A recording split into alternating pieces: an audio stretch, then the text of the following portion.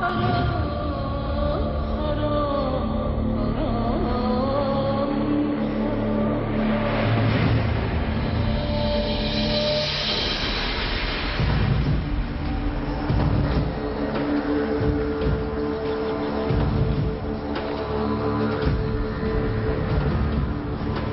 Augustine, what are you doing here? I had an appointment. Appointment? With whom? Every year on this day, I come up here at dawn. And I watch the storks migrate.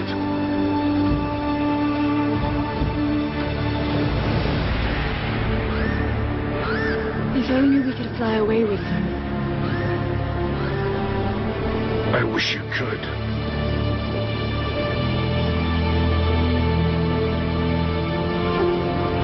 Army is growing restless. Almost no food is reaching us. They will choke the city until we have no choice. What are we going to do? It's no longer in our hands.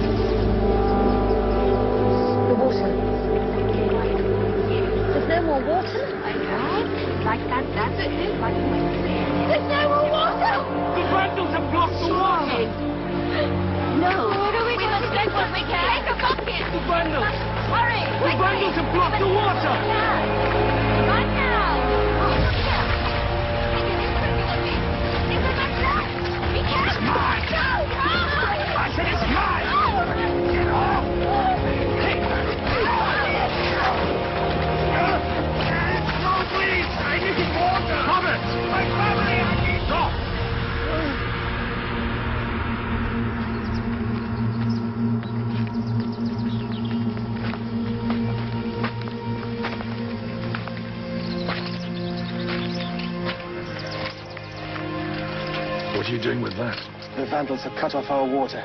We have to take what's in that well or we will die. If we give in to panic, then the Vandal will win even before storming our gates. Panic and violence will take our lives faster than thirst or starvation. As your bishop and a citizen of Hippo, I can promise you there is hope. Put down your weapons. We're all going to die, Bishop. All hope is gone. No, Fulvius. There is still hope. Because there is still a chance to save our city. A chance I will guarantee. I will make sure the Vandals lay down their weapons. He says he can stop them. How can he say that? We're all going to die. Good man, I know he How? Have faith.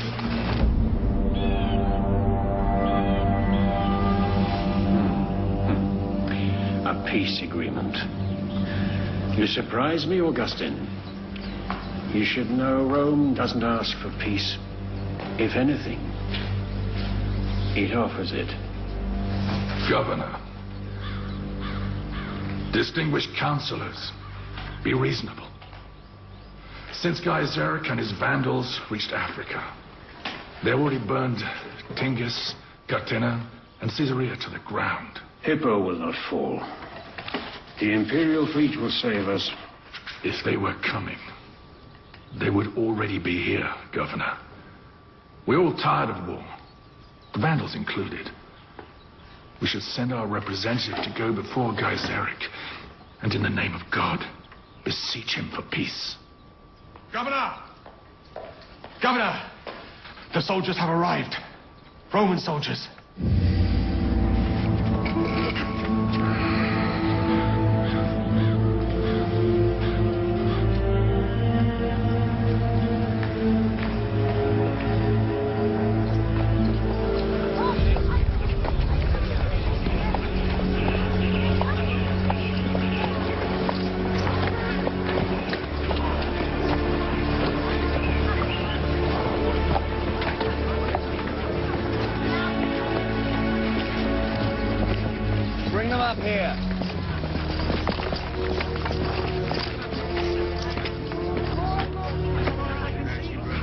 Centurion Fabius Domitius, at your command, Governor. You are welcome here. Which legion do you belong to? The seventh. The seventh. Hmm. I thought it had been annihilated. It was defeated. The two sentries and I survived. We've been marching for days in enemy territory, escorting these civilians. We took advantage of the storm to pass the Vandal lines. Have you heard? These soldiers demonstrate that the siege can be ended. That the Vandals can be defeated. Let us not lose hope. Rome will prevail. Your obsession for a military victory will bring this city to ruin. Your presence here was the only thing that made me hesitate to come, Bishop Augustine. You know me?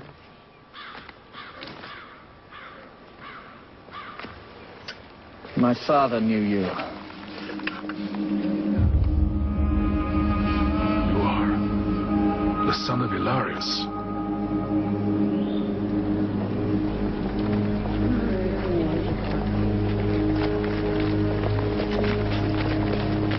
Bishop Augustine, these people and I have marched through the desert with only one purpose, to put ourselves in your hands.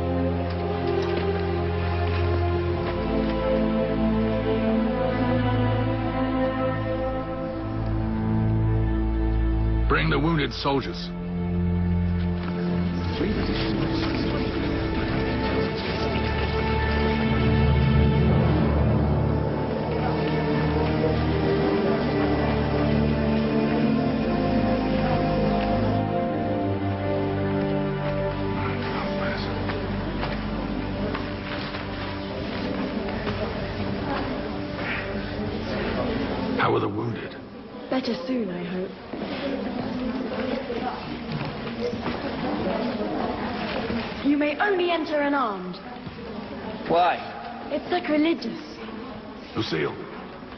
Come in. The only things sacred here are the lives of these people. And their lives were saved by this sword.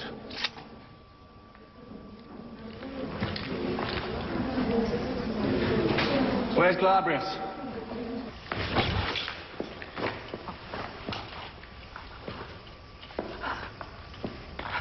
Take courage. Fabius. Here you are. Fabius.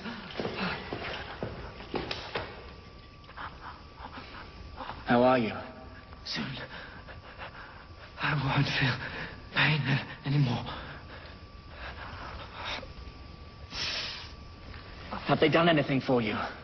There's nothing to be done. Bring this man a doctor! Immediately!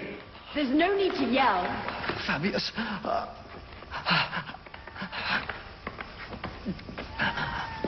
What are you going to do? If you move over and get out of here, we're going to try and save his life.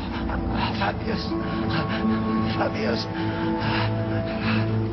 Bishop! Bishop!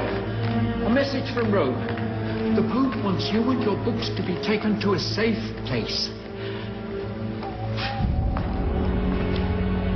How can that be possible? The Pope has already sent three ships. A few more days and they will be here. You mean I have to board a ship with my books and escape? To Rome, yes. And abandon my people?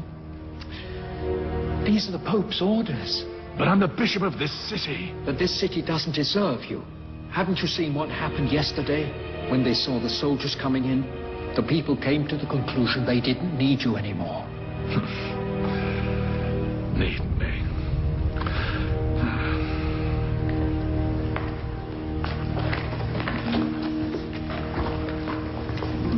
Look, Possidius. This is your handwriting. But it's your confessions. Yes, my confession. Like any man left to my own devices, I would still be a, a poor, presumptuous boy. Sure, there is nothing I would need. If there is anything good about me, I have only my mother to thank. My mother, who bore me in flesh to this temporal life, and with her heart to eternal life.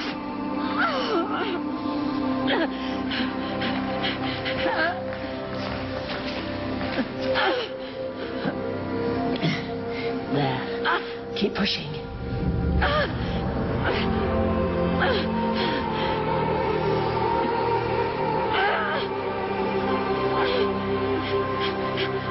The baby is up too high. Go and call the father immediately and tell him to hurry.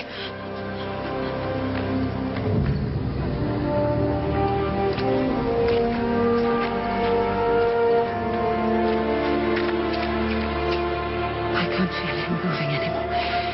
Why? I want you to get ready. For what?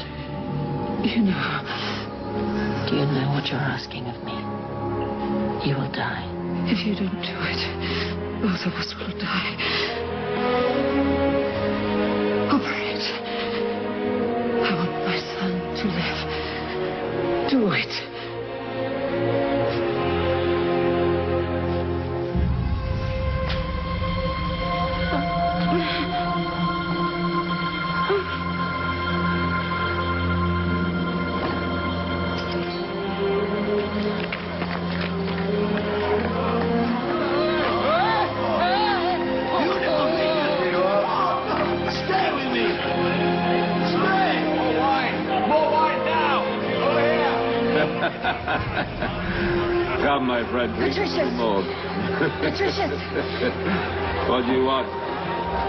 Is in labor. Wait, I'm winning. She's dying.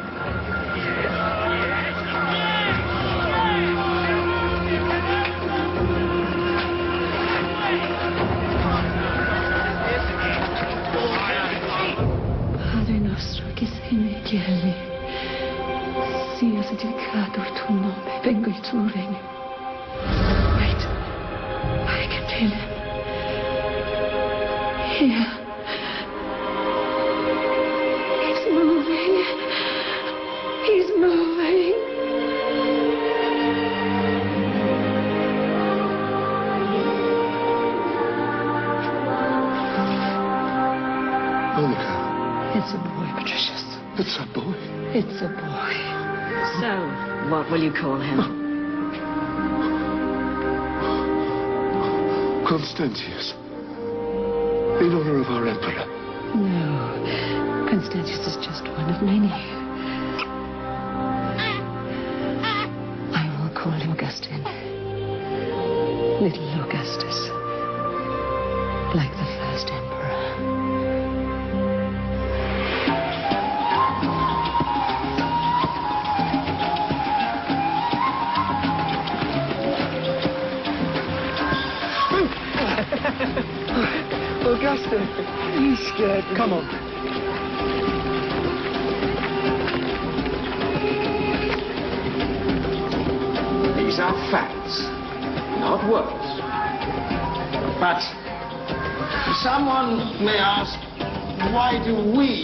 Pay taxes to Rome?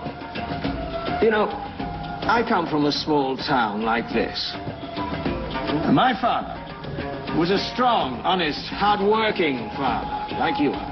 I thought you said he came from a powerful family in Rome. Yes, he, he came did. back from But now he's acting to win their favor. One of the coins he'd earned in a pot, saving it for taxes. I used to ask, why don't we spend these coins rather than giving them to Rome? And he used to answer patiently, my son, those coins, all we could buy is a goat. Whereas Rome will build with it an empire. Rome doesn't want our money because we are Rome. These are facts, not words.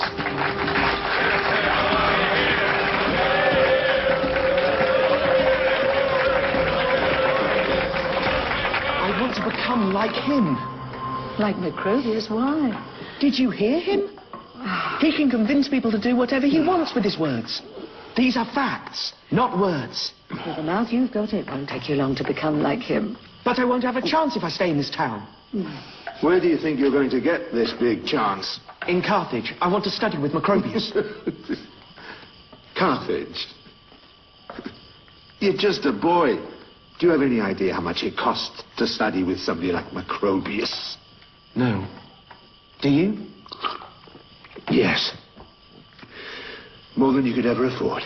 Stop filling your head with these silly notions. But Patricius, we could save up. Augustine deserves a school. Augustine will make do with the school in Tagaste, just like I did and my father before me. Discussion closed. Father, where are you going? To the tavern. That's not true. What are you insinuating? You've perfumed your hair. You never do that when you go to the tavern. Augustine, no. You're going to see Eurydice, your friend. How dare you! Don't ever speak to your father like that again.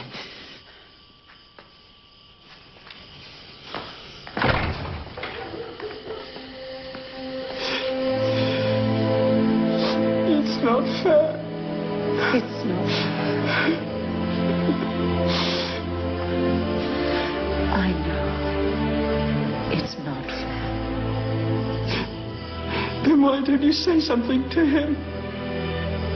Words are not enough to change her. That's a fact. And not only words.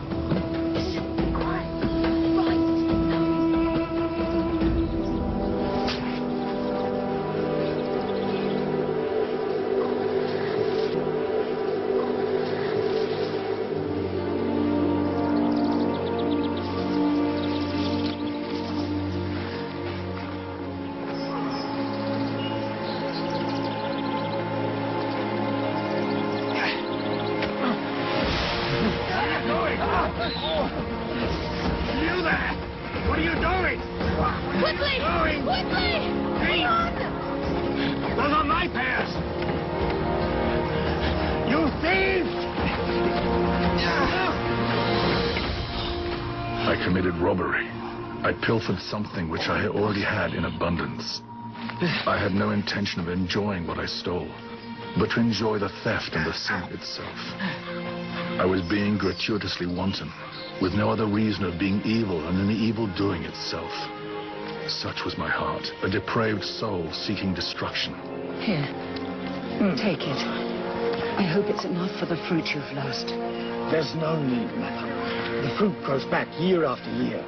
But a child, if he goes astray, he can be lost forever.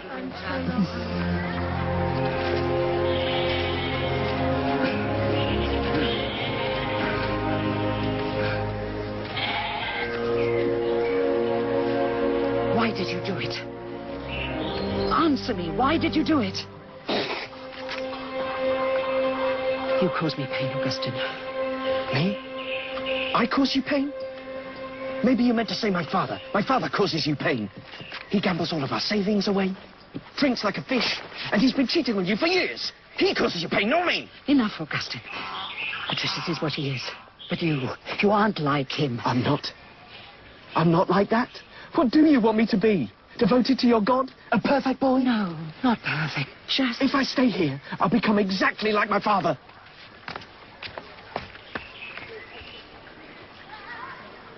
You haven't only come here to taste my oil, to compliment me on my home, talk about my son. You're right, but I've come to talk to you about my son, Augustine. Is he still the smartest boy in his school? Oh, yes. But I want to help him to get away from here, to go to Carthage to study. He heard Macrobius. He has decided to be a lawyer. A lawyer? How would you pay for his studies? You know we can't.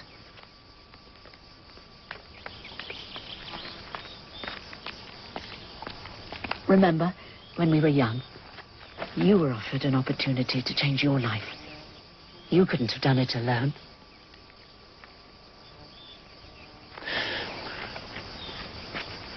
Macrobius would make a great lawyer out of him.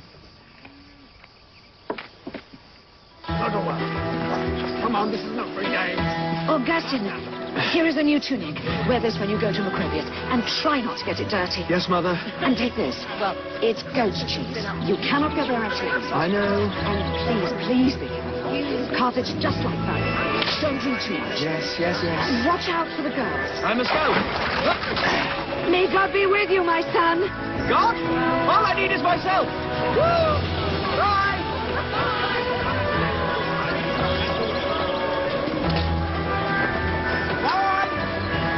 Good luck, my son.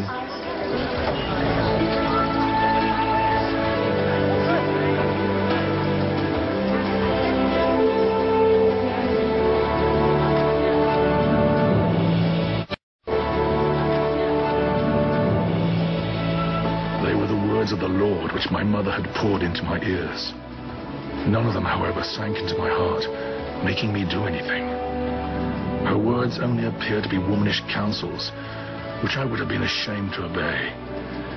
And yet they were the Lord's, and I did not know. And in rejecting her counsel, I was rejecting the Lord.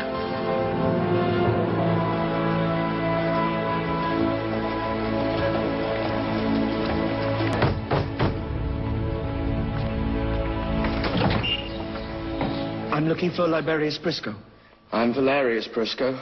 My father's not at home. Close. My name is Augustine. Romanianus has sent me. Romanianus from Tagaste. The one with the oil. And what does he hope to squeeze out of you?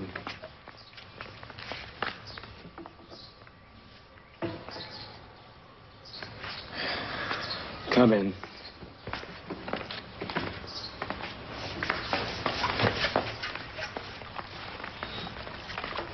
We were expecting you yesterday evening. Yes, I'm sorry, but I was detained.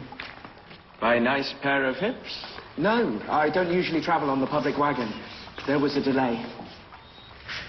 Public wagon? Hmm, never rode on one.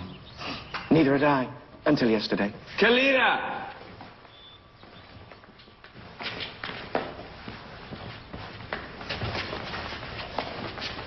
This will be your room. Thank you, Valerius. Kalida will be at your service. She's from the great deserts. Reliable people. Nice hips. A good way to be detained, hmm?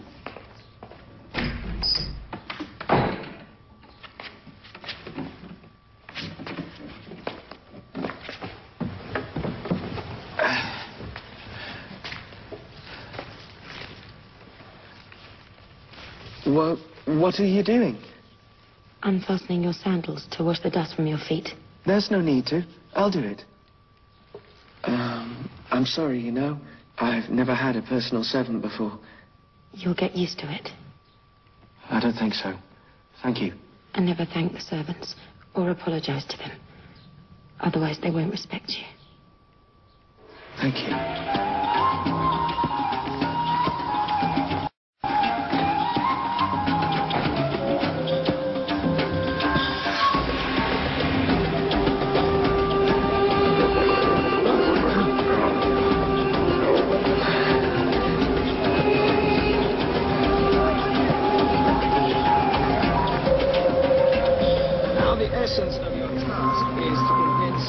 That you have right on your side. You need to marshal your arguments logically. So, that's how it is. Simple as that. Macrobius? Yes? My name is Augustine. Romagnana sent me. Ah, you're the one who wants to become a lawyer, right? Yes. Tagaste, right? Exactly. Now, I do say, has anything good ever come out of Tagaste? Listen, I don't have time for new students. But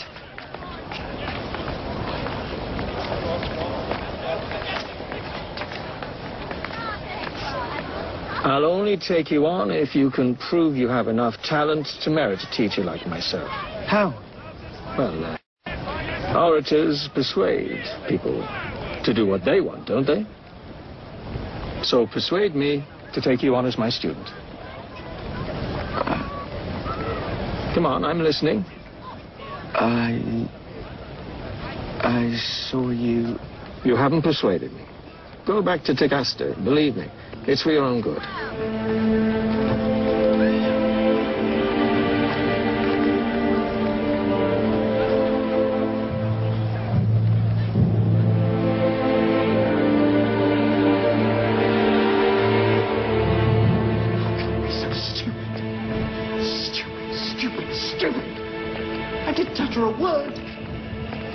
Me to take you on as my student.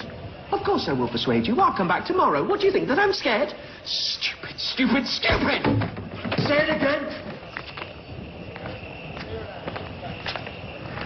Try calling me stupid once more. No, no, I was talking about myself. You don't understand. I don't understand? Yes, I mean no. I didn't mean... You say I don't understand. Then you think I'm stupid. No, I am. I'm the stupid one. Yes. you are the stupid one.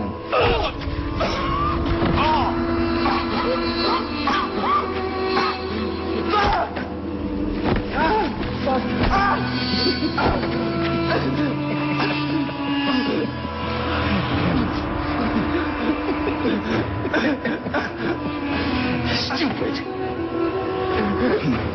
Let's go.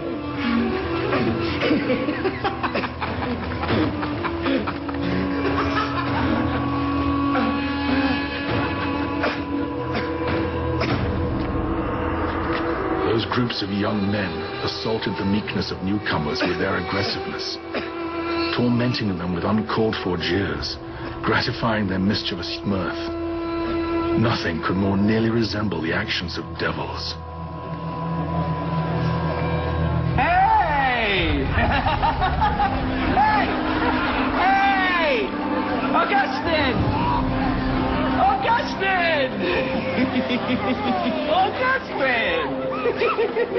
Yours is the best smart so far. Don't talk about it. I was beaten up. You should have let me show you around the city personally. hey, don't worry. I know who'll heal your wounds. Augustine! Augustine!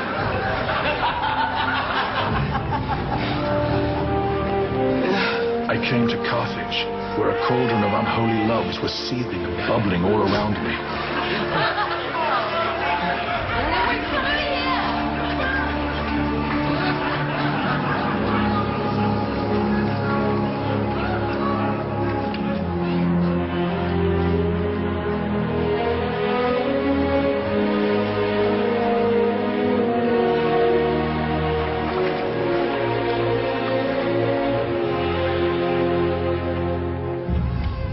make many conquests at the party last night. I'm not sure this place is for you, Augustine. Better if you go home. That way, Romanianus will understand that there is nothing of any value to squeeze out of you. What do you know? Your father's rich. You have everything. I have everything, huh? My father's rich, right? Let me tell you something, Augustine. Something that no one outside this house knows. My father doesn't exist.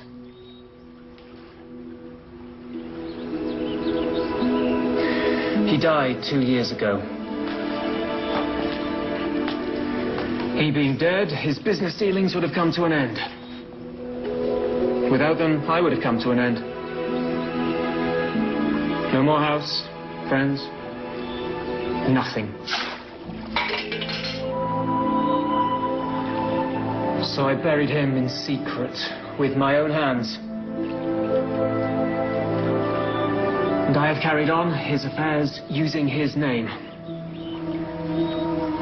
Make no mistake, no one has given me anything. I've taken everything I have. Do you understand, Augustine? If you want something, don't ask for it. Take it.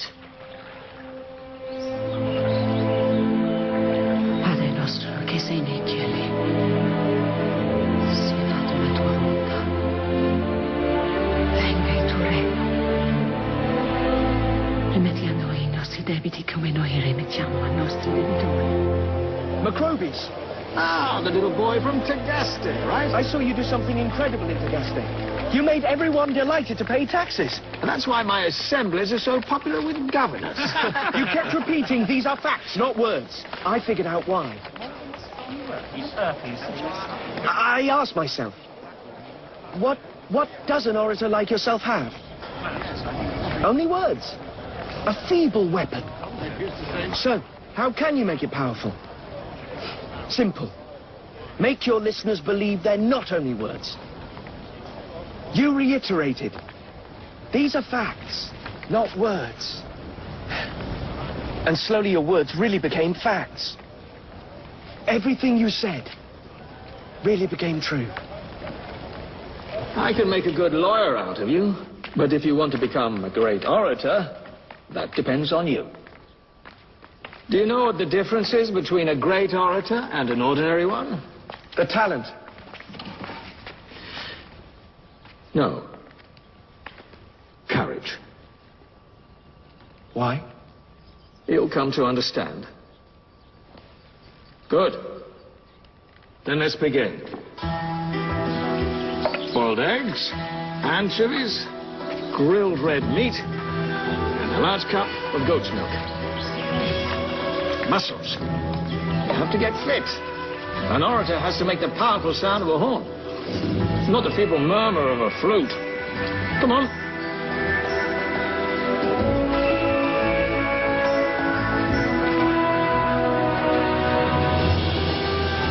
Demosthenes had a stammer, but he made himself speak for months with a stone in his mouth. And he became the greatest orator of his time. For there is nothing of greater importance. There is nothing of greater importance.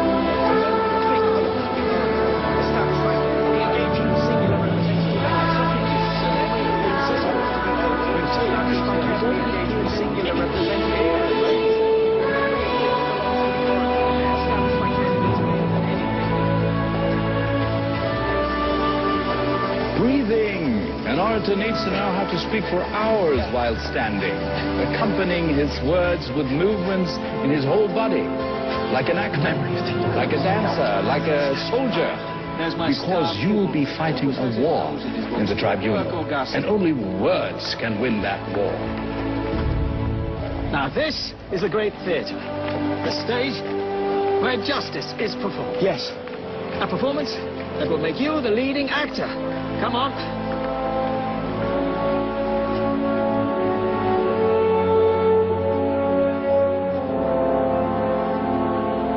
Witnesses accuse my client Tertullius of having attempted to murder his wife.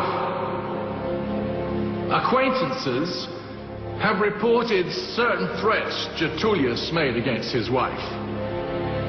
The prosecution maintains they have produced evidence which incriminates Tertullius. Witnesses who accuse. Acquaintances who report. Prosecutors who maintain. So many words.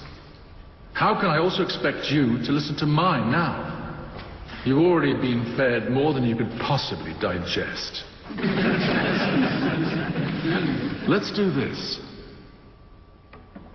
let's put all the words aside. Let's put them aside and listen only to our hearts. It is there, and not here where the lawyers, the judges, and the accused are standing.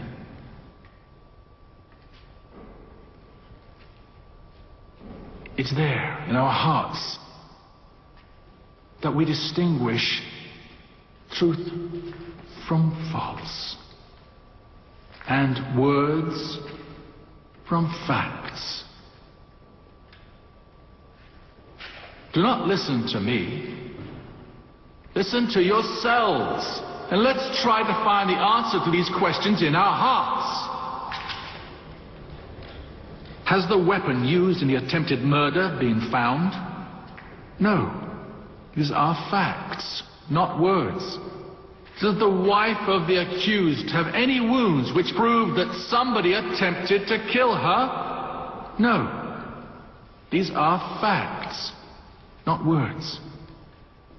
Does the accused have any criminal record for violent crimes that would support these accusations? No.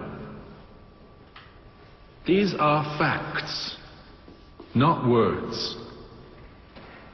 You have been made to listen to many words. Instead of letting the voices of the witnesses, lawyers, and judges resound in your hearts, let the only voice worthy of faith resound. The voice of the facts.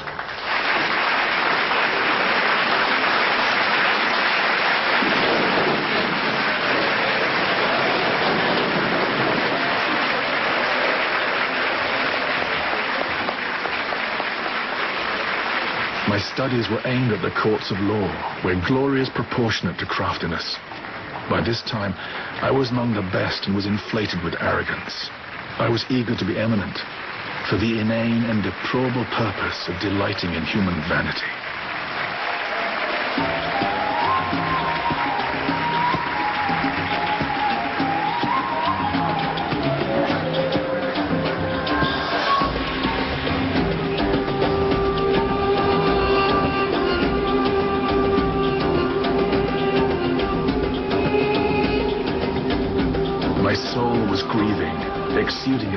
Forth, itching to be scratched by scraping on the things of the senses that would not inspire our love if they had no soul. To love and to be loved was even sweeter when I gained the enjoyment of the body of the person I loved. Thus I polluted the spring of friendship with the filth of lust. Augustine, what happened to you the other night? Oh, ask Chryside. She kidnapped me. I don't recall where she... Where she... where she brought me. Next time, I'll kidnap you. You spilled all your wine on me. Can't you watch what you're doing? This is a new tunic. Excuse me. I got this in Rome. Hey, what's up? you. What's going on? Hey, you didn't tell me if you appreciated my closing speech, Valerius. As always, how many cases have you won now? Ah, I stopped counting them. Carthage has become too small for your talent. You deserve to be on the biggest stage of Rome. Look at me. I'm all wet. You know, I'm not happy about this. Augustine, you forgot this at my place.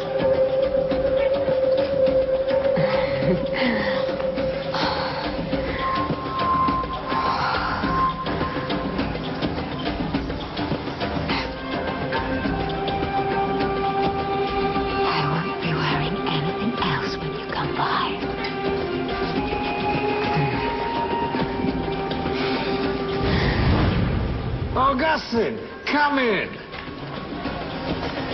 Pour our young star drink. The taste of victory is the only one we never tire of. Especially in a case like this. What made this case so special? Making everyone believe that Tertullius was innocent has been mm, exhilarating. That's terrible. What about the truth? Truth? We have never been concerned with the truth. The only truth is the one that Augustine convinced the judge and the audience of today.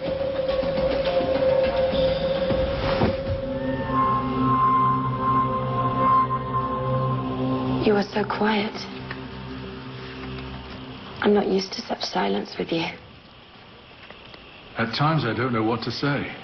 That's a shame. Why? I like to listen to you before I go to sleep. Kalida, tell me something. Do you think we can live without the truth? We can deny it to others and to ourselves, but But but the truth is strong. Good or bad, it doesn't leave us. It just lingers there, hidden in our hearts.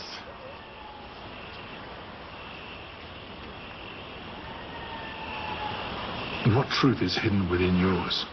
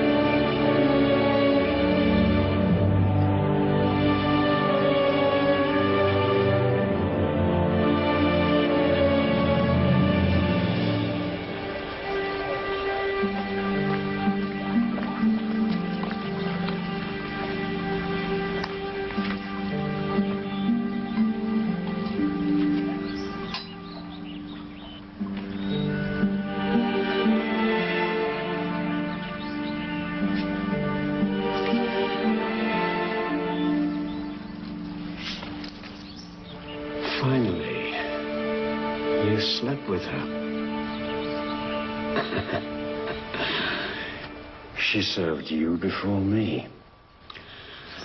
I'm the master of the house, but now she feels that she belongs to you. Hmm.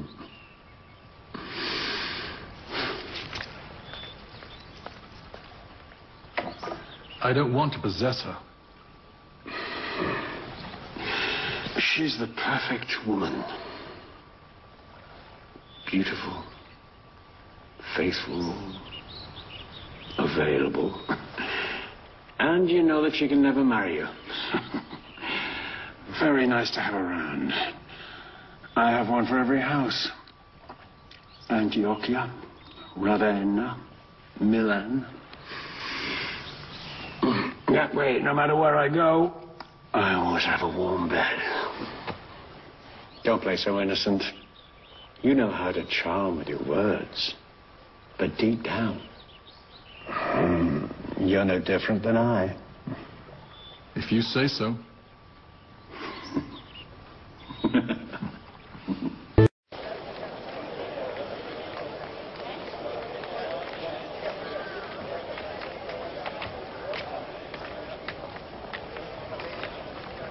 Augustine?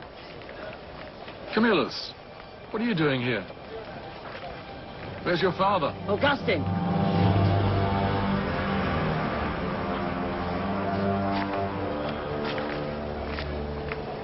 What's wrong? He's free.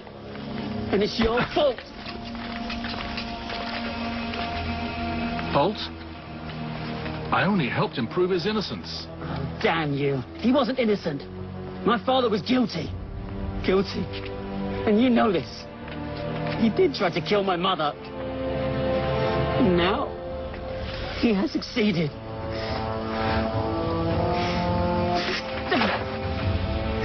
My mother is dead. It is your fault.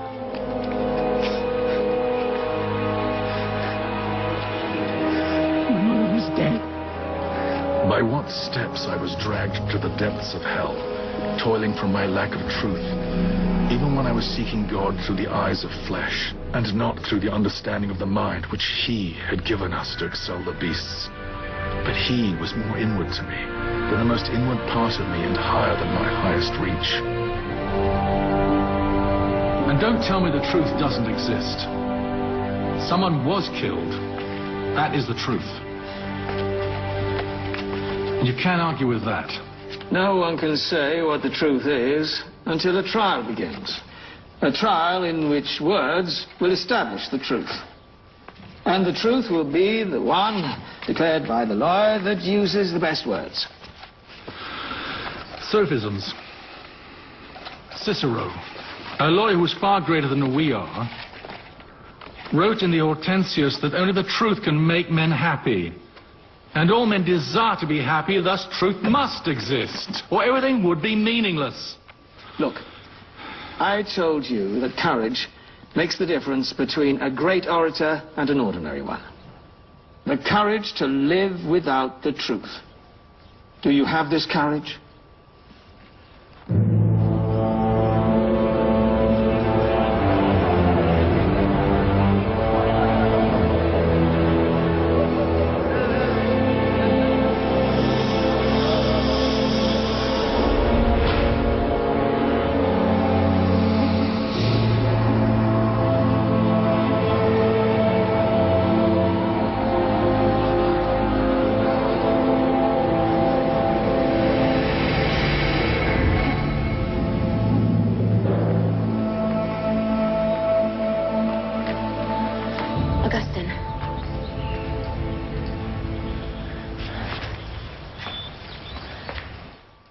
Messenger arrived from Tagaste.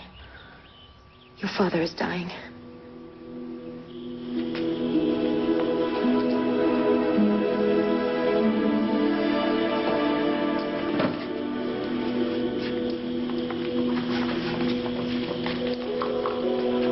Are you also taking this? Yes. I don't know how long I'll be away.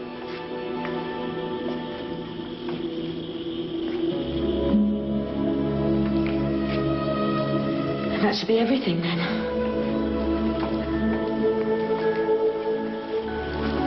Kalida.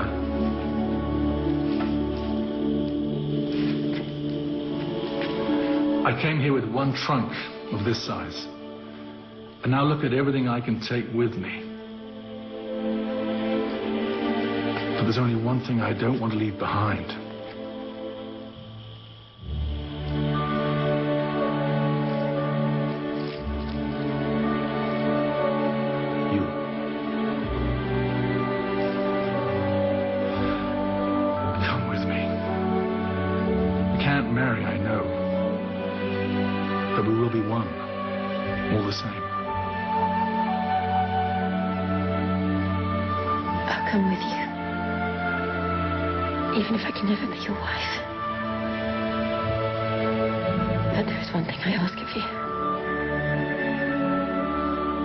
Don't ever ask me to share you with another woman.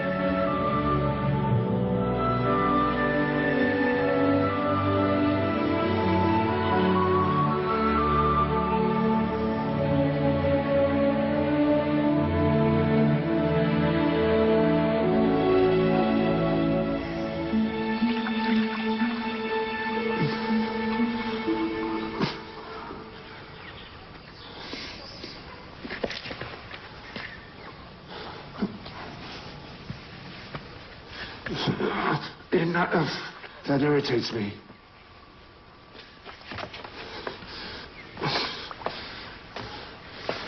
Draw back those curtains. I'm not dead yet.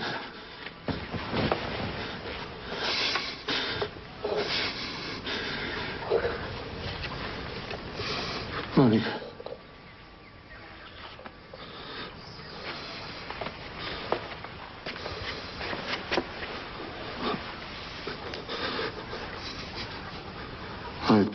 I've been an awful man, haven't I? You've been. You still are. How have you been able to stand by me all these years? I learned to forgive you. And love for who you are. Well, I'm just not discovering the true meaning of love. I'm scared of what's to come. I don't want to be who I am anymore.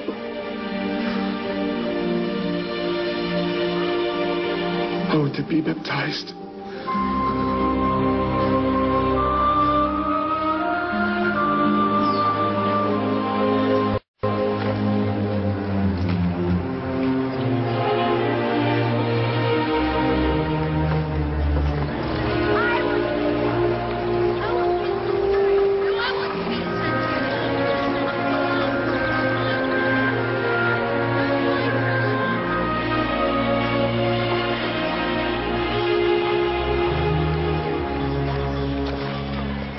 Already be dead.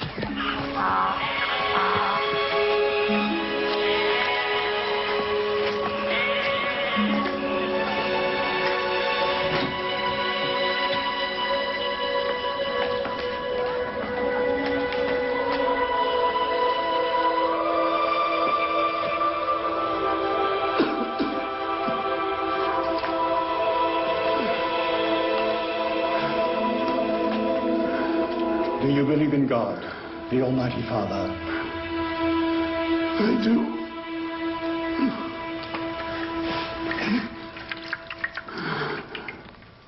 And I now baptize you in the name of the Father, the Son, and the Holy Spirit.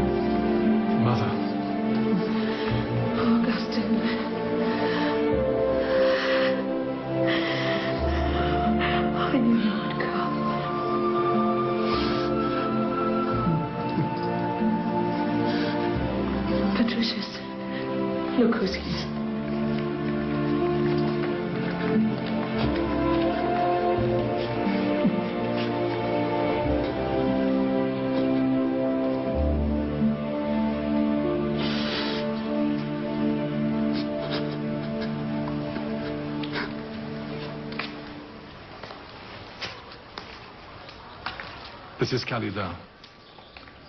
And she's A a... servant. One of your son's servants. No, a friend. A friend That's right. from Carthage. Not exactly. She's from the south, from the great deserts. I see. I'll bring you some soup.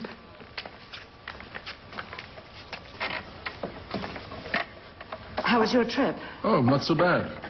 Your son slept the entire time. Traveling on wagons always has this effect on him. Really? I didn't know. Your brother and sister will arrive in a few days. Have you heard he got married? Yes, I heard. And I heard about Tertullius. Everybody's talking about it. You and Macrobius had him acquitted, isn't that right? Yes. So, is he really guilty, like everyone says he is? Oh, that depends. If he can afford Macrobius again, he's innocent. What are you talking about? A man is either innocent or guilty. Trust me, Mother, a man is proven innocent or guilty by the words spoken in the tribunal. Words don't change facts. They don't, then your magic formulas don't change them either. What magic formulas? The ones the bishop recited before my father. They don't change the facts either. What would you say the facts are? He has always been a scoundrel and a coward. He accepted to be baptized out of fear. The baptism will never change him. What do you know about it? What do you know about baptism? About your father? About our life here while you were away blabbing on presumptuously in the tribunals of Carthage? Spending your nights with this poor girl whom you will eventually disappoint. What do you know about any of that? You're right. What do I know?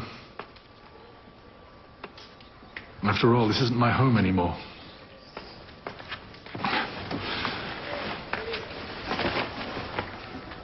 Let's go. Let's go.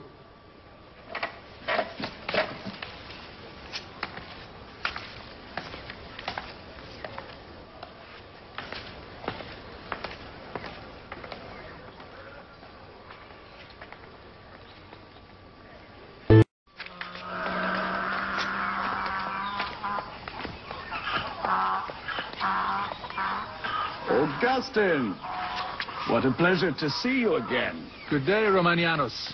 Good day. I've kept a close eye on your progress over the years. This is Kalida. A young woman whose beauty is worthy of your fame. I was wondering if you would let us stay here for a while. It's an honor for me to have the rising star of the Empire's tribunals here at my home.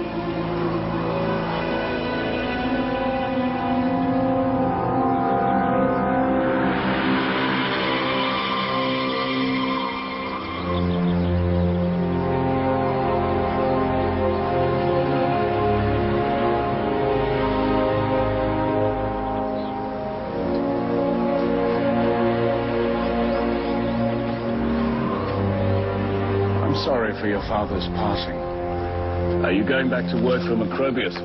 No. I'm going back to work against people like Macrobius. I can no longer be his accomplice. We did some terrible things, Romanianus. It's not your fault. Not mine. Whose fault would it be then? No one's. No one's? What kind of philosophy is that? Have you ever heard of Mani? Mani is the prophet of the truth. And what would that be? That no one is responsible for anything. Remember, you are talking to a lawyer. I've defended guilty men who committed horrible crimes. That is exactly the point. Look at these olive trees. Can we reproach them for having twisted branches? No. It's their nature. It's the same for us. It's not our fault if we are made of matter, of evil. But then there's no hope. Only one. Follow Mani, who shows us how to free ourselves from matter, from evil, to become pure light, pure spirit. Thus I fell among men, delirious in their pride. Truth, truth. They repeated the word over and over to me. But the thing itself was not in them. O truth, truth. How inwardly, even then, did the marrow of my soul sigh for the truth, while the others frequently sounded out its name, as if it were only a sound, clamor and wind.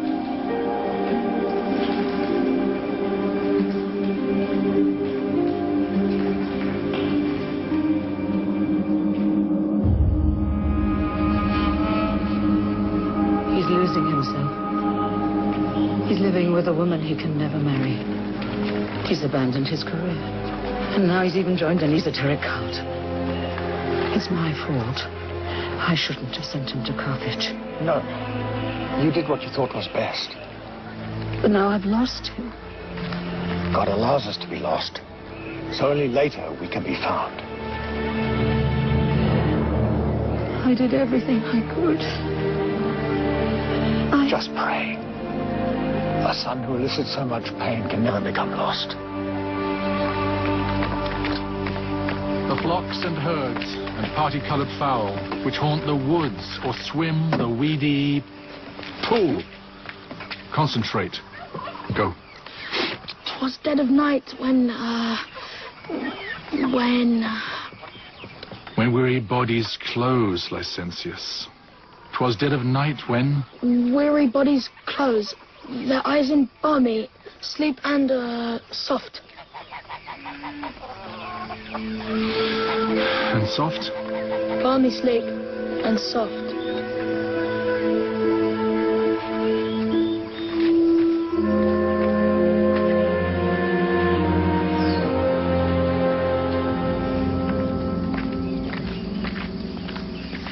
Dinner is ready. I prepared something special Why? to please you. There's no need to. I believe there is. To remind you that you are too. What? Special. I know that. I don't need you to remind me. I don't need to prove anything to anyone.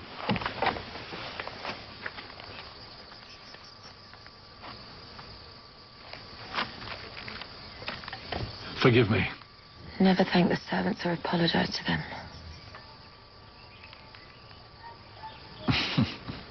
I told you that the first time we met. You are no longer a servant to me. Not even your words can change that. Come on. And you need not reconcile with me, but with your mother.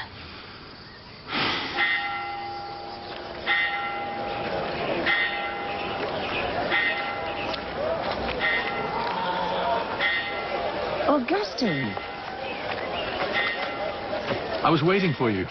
I'm glad to see you. How are you? Today I'm fine. Why today? I had a dream last night. I was standing on a suspended mast, crying. Then I saw a young man coming towards me. He smiles and says, Why are you crying? For my son, I respond. He looks at me and tells me, Look carefully. Can't you see he's standing where you are? I turn and I see you.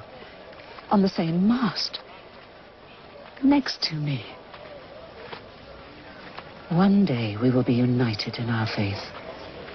That's the meaning of my dream. That's why I'm fine today. So you'll become a Manichaean soon as well. No. That man didn't say you were standing where your son is. But your son is standing where you are. I'm good where I am. You're wasting the talent that God has given you. God has... God has nothing to do with it. I... I earned it through my own efforts. Man doesn't create himself, nor is he enough for himself. That's what you say. No, our hearts say so. Your priests make you believe so. Your priests make you believe that you need God. But where is God? You can't see him, you can't hear him. So, how about that? You're all forced to ask for help, and from whom? From them, from the priests, who hold your souls in the palms of their hands. No one here holds anyone's soul in the palm of their hands, young man. Did you hear? The bishop is afraid. Afraid that you'll begin using your heads.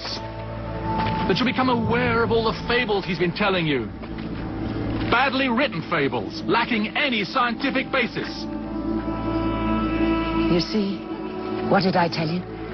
You have talent, but it's being wasted.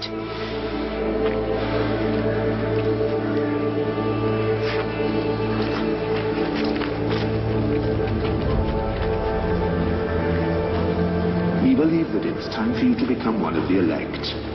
Me? Part of the elect? Yes. That way, you would be able to defend the religion of Mani publicly with your rhetorical skills. Publicly? Course. You'll get back to demonstrating your worth. Someone like you can't be satisfied teaching grammar to children. And remember, we have clout. The world is made up of simple and superior people. You're one of the superior people. With us, you could do great things. I would be honored. You know there is one condition. The elect are called to celibacy. You'll have to end your relationship with your companion.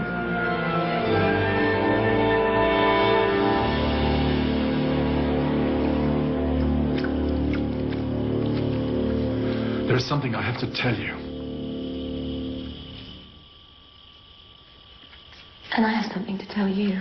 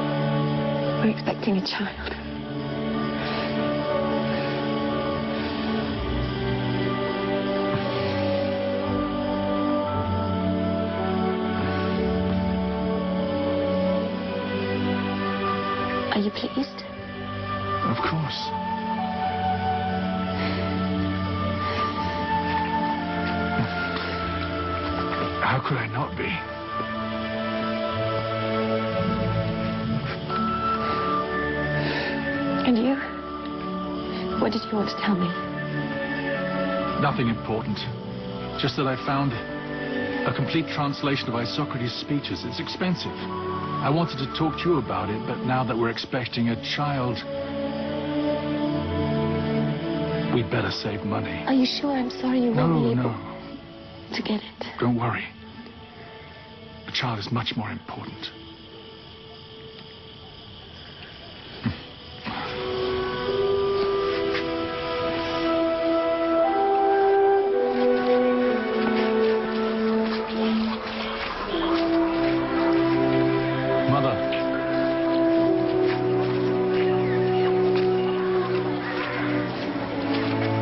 Kalida and I are expecting a child. Come in.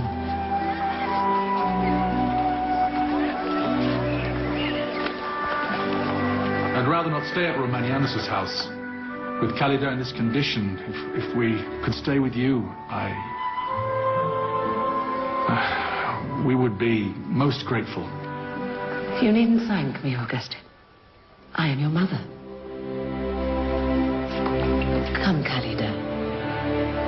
Show you where you're going to be sleeping.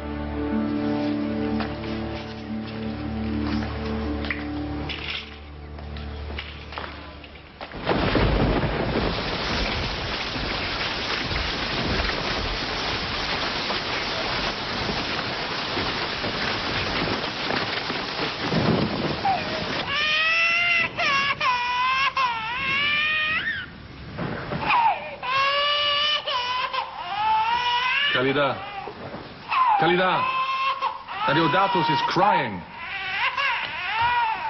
Oh. Maybe he just wants to be held by his father. Listen, I'm trying to concentrate. How's it coming? Worse than I thought. You're too hard on yourself. This book cannot fail like the first one did. Your book about beauty didn't fail. It will soon be noticed. Yeah. Not even dedicating it to a famous orator like Hierius did any good. Give it time.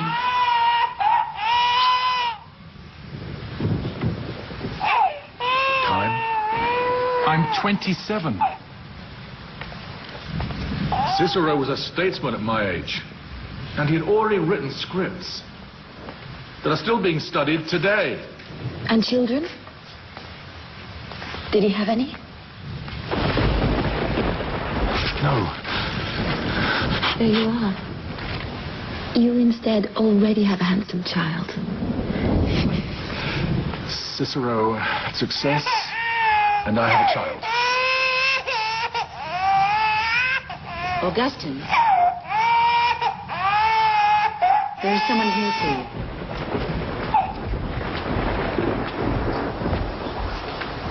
Romanianus. What a pleasure to see you again. You look tired. Yes. Is this the baby? I've been working a lot. May I? I have many ideas, and uh, I came by to invite you to my house. to your house. No, no, no, no, no, no. You're still a very welcome guest. Listen, I. I still feel bad about refusing your offer to become a part of the elect. Remember, no one is to blame for anything. An old friend of yours will be there. Augustine! Valerius! What's an important man like yourself doing in Tagaste? I could ask the same of you. Please, make yourselves comfortable. So, where are you living now? Latakia? Tria? Aquileia? Rome. I'm working for Quintus Aurelius Symmachus, the prefect. Have you heard of him? Who doesn't know the greatest orator of our time? In fact, you should hear him speak. How long will it take you to replace him?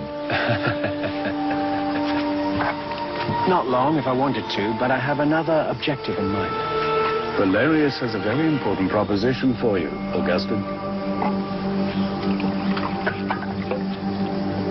In Milan, they're searching for a new court orator. The emperor has asked Symmachus to find him one, and he's been looking throughout the empire, but it's not easy. Ambrose is in Milan, one of the most arrogant Christian bishops in the whole empire. He's politically skilled and an effective orator. Symmachus wants the new orator to oppose him. That's why I immediately thought of you. You're a brilliant orator, and they tell me you hate the Christians. It will be a great opportunity for you, Augustine, and for the entire Manichaean community, too. Don't tell me I've come all this way for nothing. My family's here. An elderly mother and a slave as your concubine? Is that your family? I also have a child. And they're my whole life.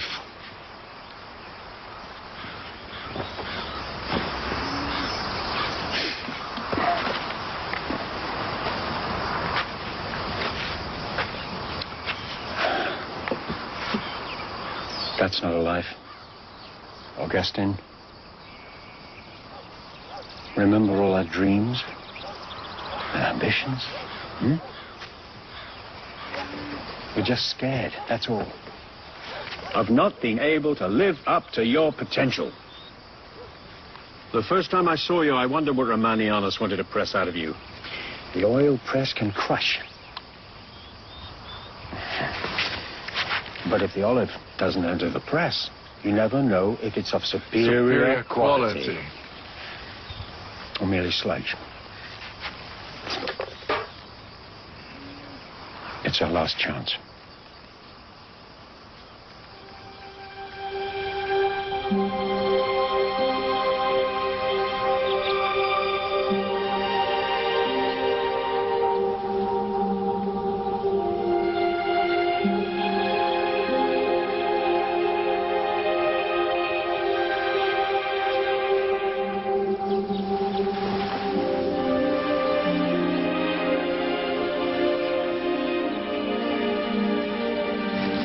Dealt with me so that I was enticed to go to Rome, using as his means men enchanted with this death in life. And I, who hated actual misery in the one place, sought fictitious happiness in the other. Augustine! Augustine, where are you going? To Carthage. To Carthage? Yes, I'm accompanying Valerius. He's sailing back to Rome. What did you think? I'll just leave without saying anything? Should I have? What's gotten into you? Come on, go back to bed. I need to go. Valerius is waiting for me. Have a nice trip. I'll be back in a couple of days.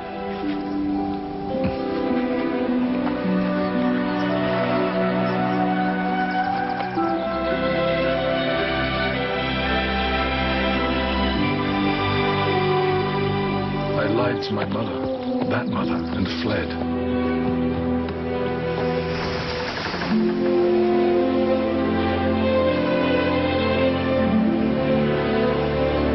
The wind blew and filled our sails, and the shore dropped out of sight that morning when, wild with grief, she was there filling God's ears with complaints and groans.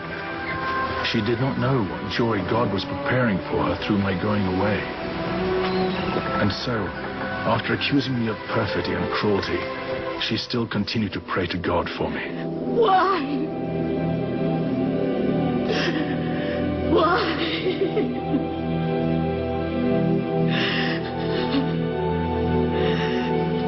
Arenas tukisin çöle. Sifti kanatının nefenga tureklo. He told me that it would have been too painful. That he wouldn't have had the strength to face you and say goodbye to, to you, to Adeodatus. He wouldn't have found the courage to leave. Here, sit. But he promised that he will return, or else he will make arrangements for us to join him.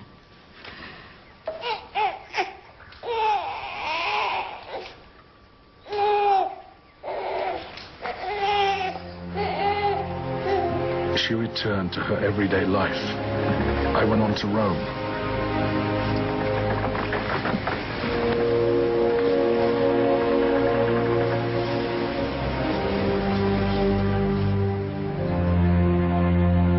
Now the glory of Rome seems to be darkened by the growing popularity of Christianity amongst other religions.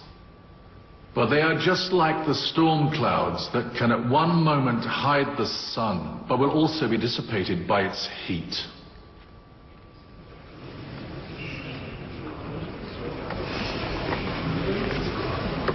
Not a bad speech, Augustine.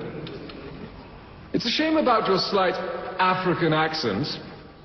You should try and correct it. Thank you for your advice.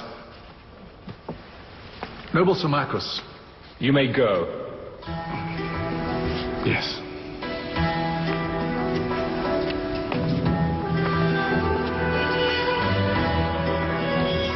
Valerius. Stay.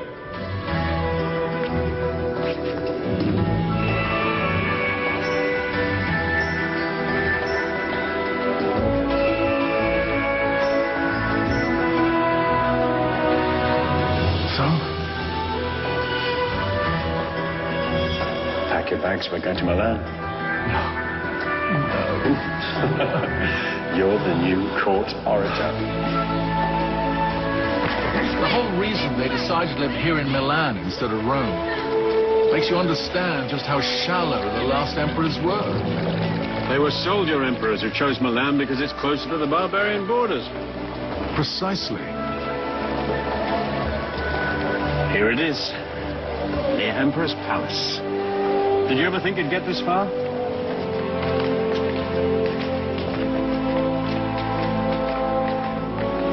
Repeat what I told you. Never look the emperor in the eyes, never contradict his mother, and never trust anybody in the court.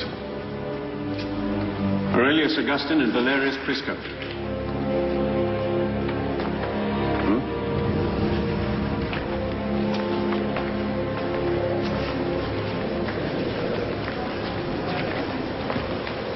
Quintus, I need a word with you. Oh, and throw some compliments around about Tony. I? He hasn't led an army in years, but he still likes to be considered a great Very general. Is there someone I can praise for who he is?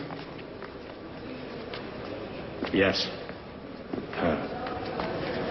Blasilla. Blasilla?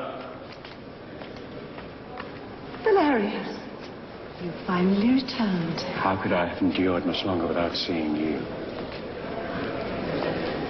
Didn't you bring me anything from Africa? The best voice in the Empire, a future star of the court. Augustine. I hope soon I will have the opportunity to hear your voice. And I the opportunity to prove I am worthy of the presentation Valerius has bestowed upon me.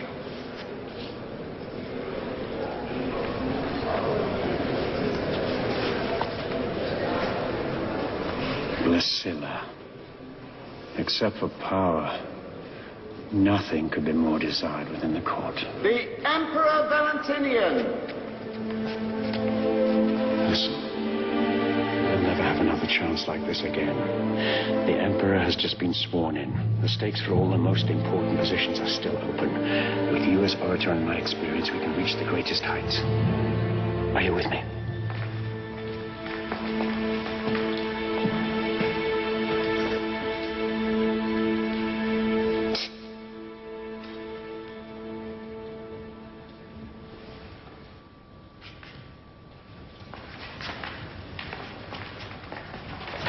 I call the Consul of Venice, Quinto Flavio. Later. Valerius.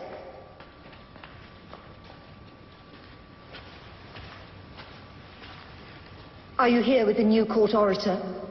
Yes, Empress Mother. Aurelius Augustine from Tagaste. Does this Augustine from Tagaste know what it means to be the voice of the Emperor? Yes, Empress Mother.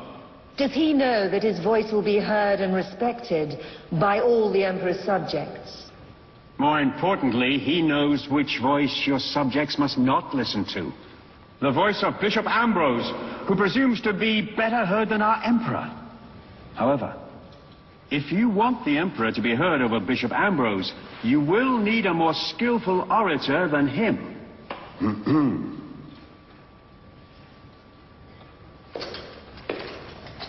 I don't know anything about these things.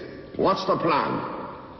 Augustine will make a public speech in honor of the Emperor, but most of all, it will be an attack on Ambrose. A speech that will bring public opinion on our side. Soon, no one will listen to his voice. And you? What do you have to say? Let us hear your voice. My voice is at the service of the Emperor. I shall say whatever it is the Emperor wishes to hear. The Queen really liked you. Of course she did. She's a woman. She's convinced that with your help, she can get rid of Bishop Ambrose. Listen, how did the bishop become such a threat to her? Justina's husband, the previous emperor, had a great deal of esteem for the bishop. He gave him so much power that even the court is in his shadow now. Wonderful fruit tree. Don't you want to buy some? Look over there. Catholics. Even pagans go to listen to Ambrose. As I told you, he's a great orator. You'll see. Come on, move! Stop struggling! Move! Please, I Let me go! I will leave you! You'll often see scenes like that. They are Justinian's Imperial Guard.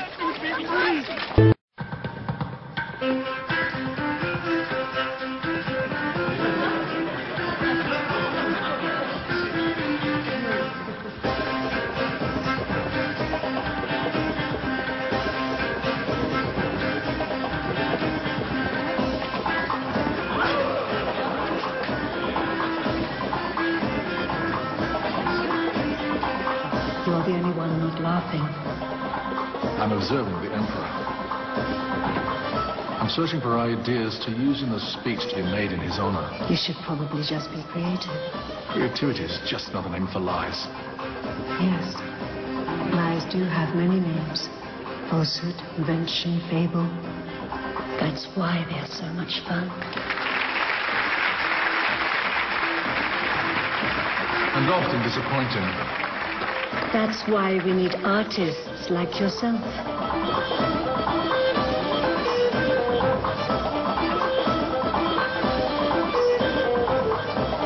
You should make a speech in my honor.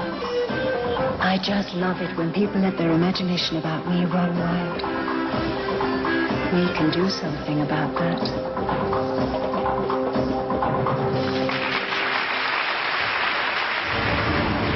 You can't enter! Bishop Ambrose? We don't remember inviting you.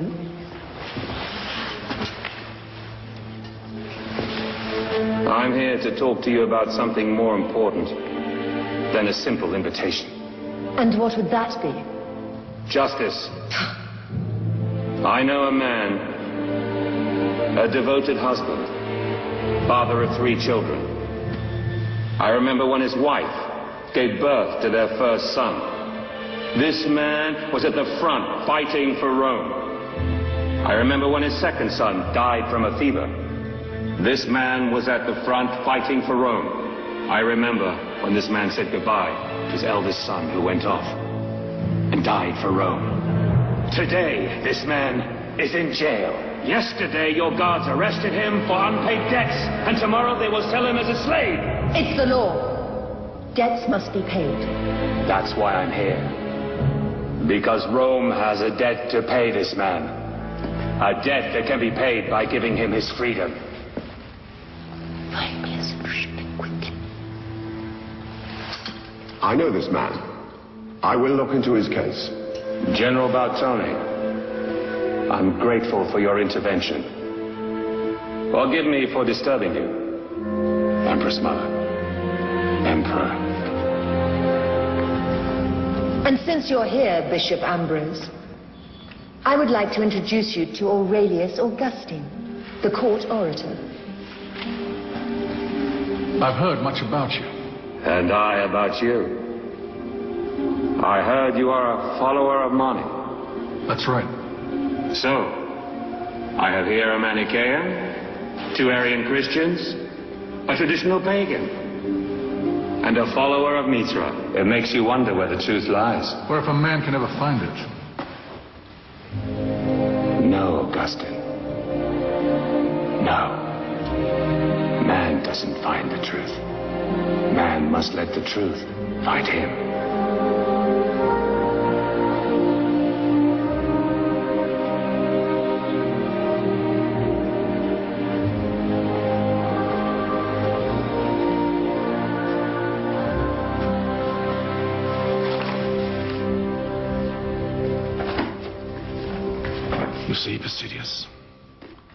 To Rome once.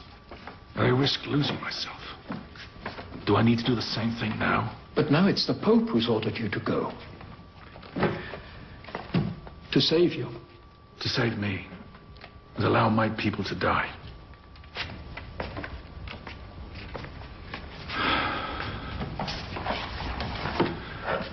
You know, yesterday I watched the storks migrate. I envied them. They always know when to leave and which direction to go. Yet for us, it's so hard to understand what God wants us to do.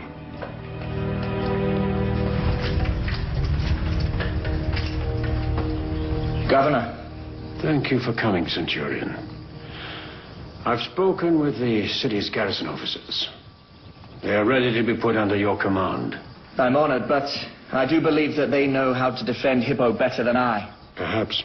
But who's talking about defending? I am talking about attacking. With you in charge, our soldiers will be able to end the siege and free Hippo. There are tens of thousands of Vandals. Numbers don't matter. Rome has always defeated larger armies. Now that the Vandals think we're about to give in, a victory on our part would turn things around. I'm the governor of the entire province. I could be in Carthage right now, safe. Instead, I came here just before the Vandals did. And do you know why? Because I've always been convinced that our counterattack would start from Hippo. We'll send those barbarians right back where they came from. We'll save the Empire. Think of all the honors that will be bestowed upon you. Or all the men we will lose. No. Think of the civilians that will be saved by your sword.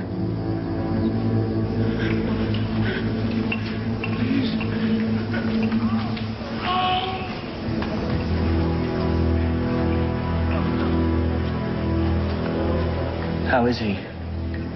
He made it through the night. With God's help, he'll get through another. Not with God's, but yours.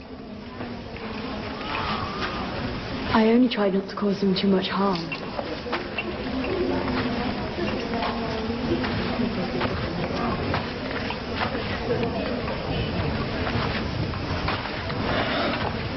How many of them will be able to fight? Fight! Then why didn't you just leave them to die? You're right. Maybe it would have been better. I see you don't have your sword with you today. A soldier isn't always at battle. Then don't bring these men into battle. Let them live. The question is this. Must I let my men live and let the city die? Or let them die to let the city live?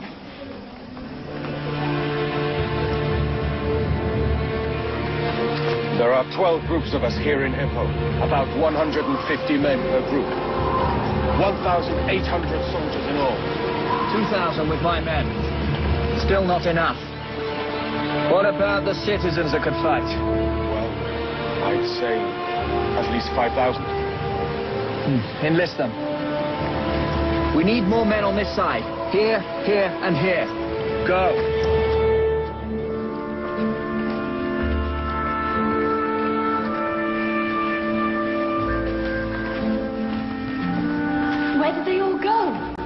When they heard their captain was preparing an attack, they went to join him. Uh, Those over there. Those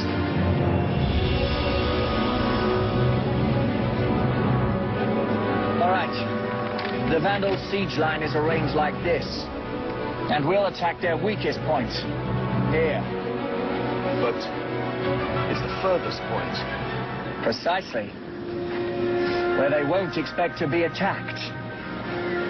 That's the best place for us to catch them off guard. From the besieged to the besiegers. Centurion, I must speak to you. Give me back those wounded men. They are my responsibility. They've gone back into service of their own free will. Then order them back to the Basilica. You'll offend them. The truth is you like having their lives at your disposal. They have the right to become heroes. No, no, no. I told you to fix the lock first, okay? Or do you want to take that away as well? You Christians and your slave mentality, so submissive, pessimistic. Oh, we have a slave mentality. Look who's talking. So attached to the things of this world that you, you adore them as if they were gods. The world? You don't even know the world. Always hanging on your bishop's vestments. There's much more life hanging on to our bishop's vestments than in any place you've been. Life? That's what you call life. Of course that's life. You don't know what life is. You've never seen the sun that sets over the battlefield. You've never drunk water from the spring. In the middle of the desert, you've never bitten into a piece of fresh fruits after having spent weeks at sea. You have...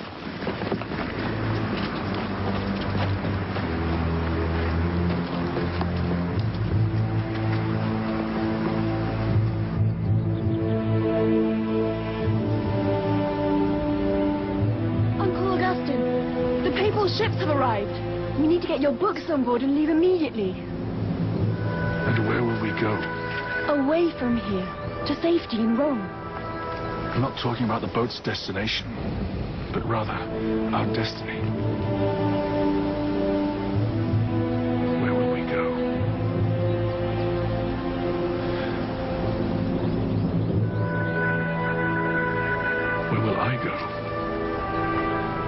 I abandon the city God has entrusted to me.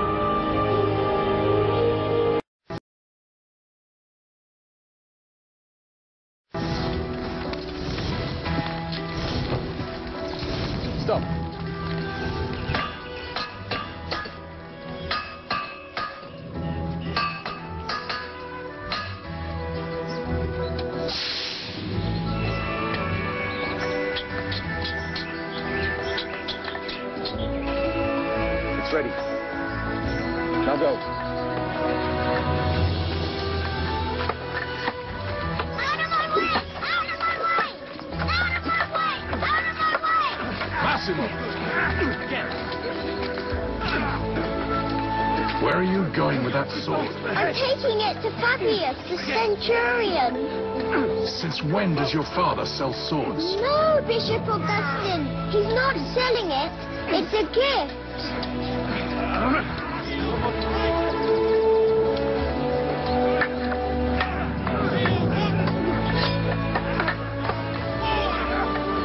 Go then. But be careful. Don't cut yourself with that.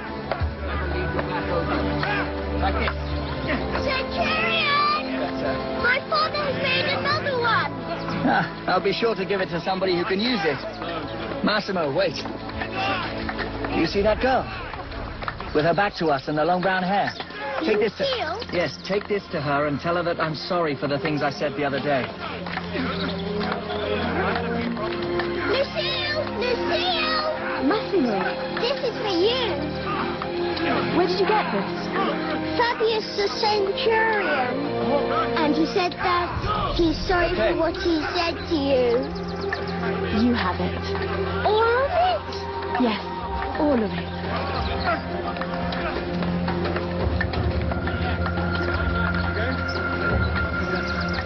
Again. Halt. Attack! I was looking for you. We started packing your books onto the Pope's ship. I have to talk to the governor first. You're still hoping to prevent that attack? Keeping hope alive is a bishop's duty. Uncle, the barbarians could attack the city at any moment. As soon as we can, we'll leave.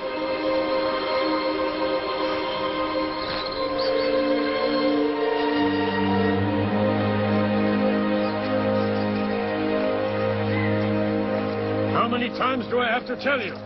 Go! I think this must be the weakest point. Here. Valerius, suspend the enrollment of the civilians. It was Fabius the Centurion's initiative, not mine. If you care about the future of the city, suspend it. I do care. That's why I won't suspend it. Those men are being led to a massacre. No. They are being led to glory. There's more glory in fighting for peace than waging war. War made Rome great. Not war. Virtue. The virtue of the regulars. The Severus. The Scipios. Exactly. So why do you Christians want to change everything? Not change. Renew.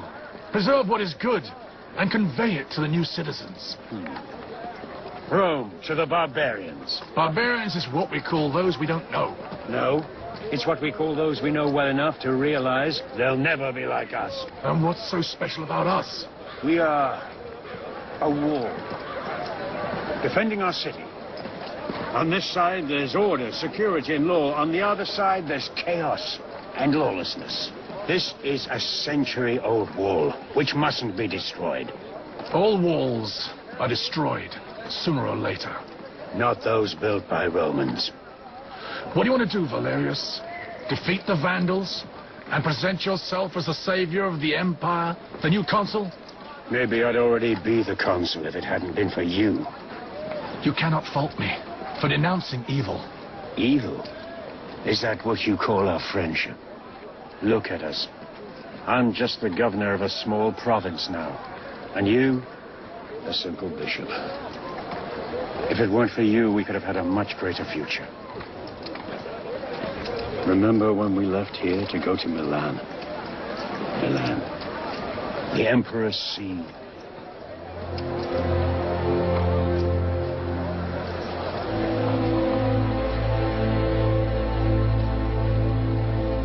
Now your speech against Ambrose is even more urgent. I'll lock myself in my house and not think of another thing. I don't think that will be possible. Why? I think you'll have company.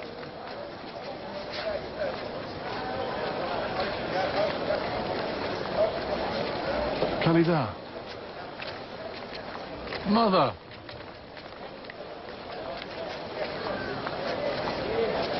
I have just moved in, so I'll have to reorganize.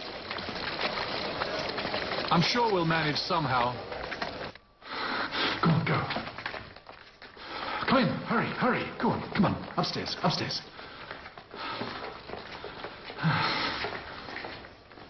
Mother, you can sleep down here, in that room. In that room.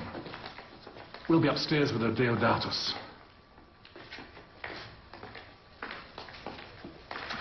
I'll show you where, where you can put your things.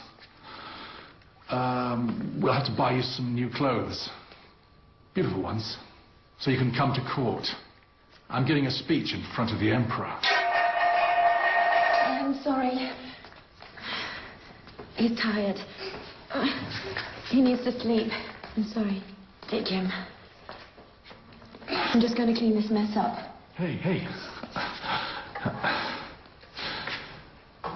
Uh, Kalida, worry about that later. Worry about that later. I think it's better if you take him. If you take him. Go, go, upstairs.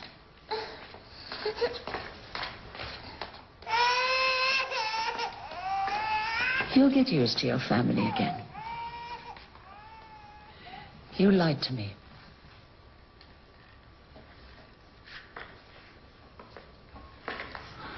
I felt ashamed. Of what? Of your family? Of myself. I'm here thanks to the Manichaeans. I feared you weren't proud of me. Are you proud of yourself? Of course. What more could I have hoped for? Have you met Bishop Ambrose? Yes. Do you know him? Thank you.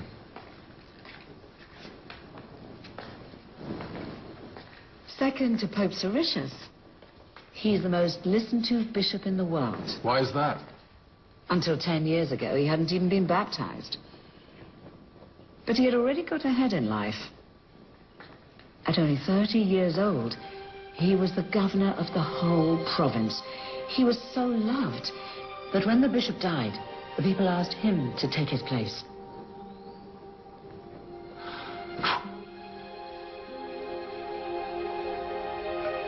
And he accepted. Of course.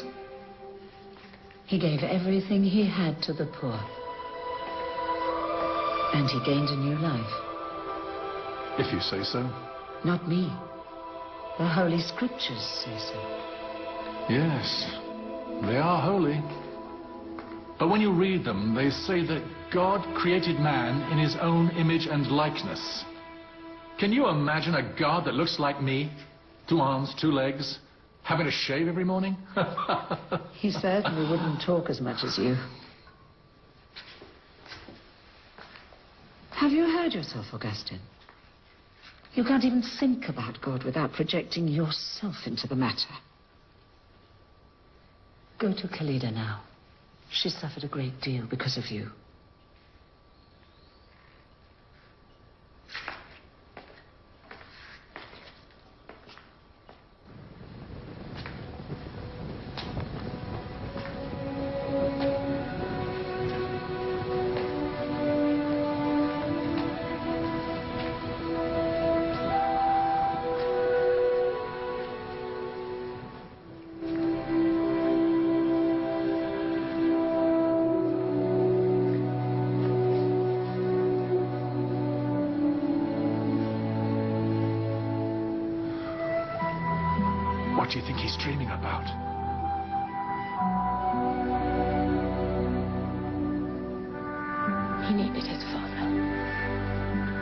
Kalida.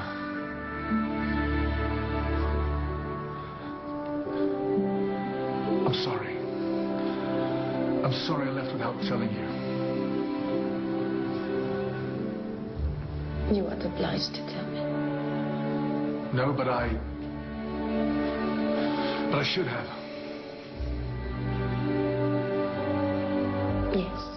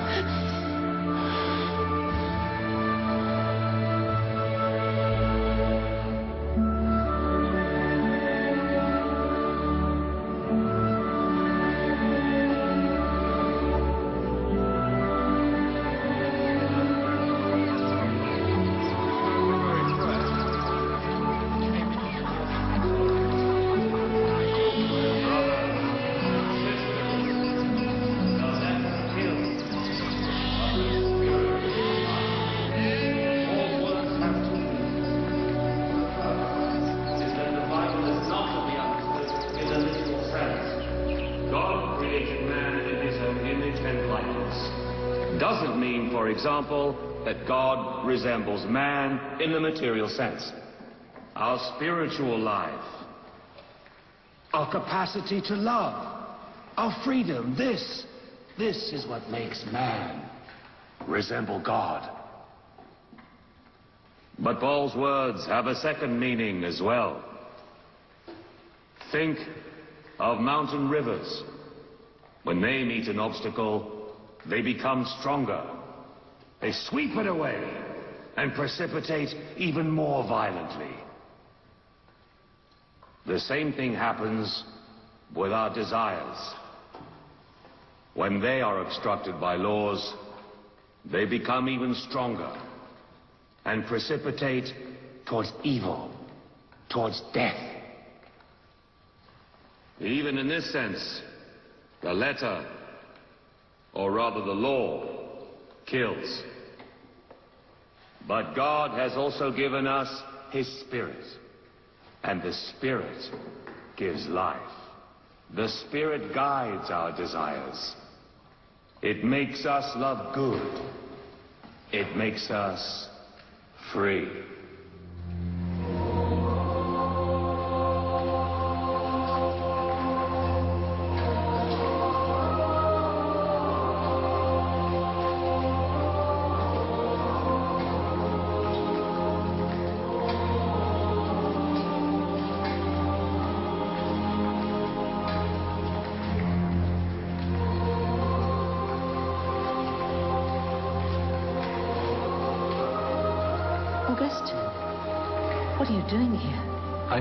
Bishop Ambrose, and you are coming with me.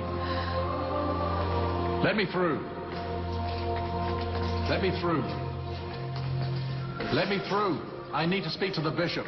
So do we. I'm the orator of the court. Yeah, sure. And I'm the king of Persia. Augustine, please.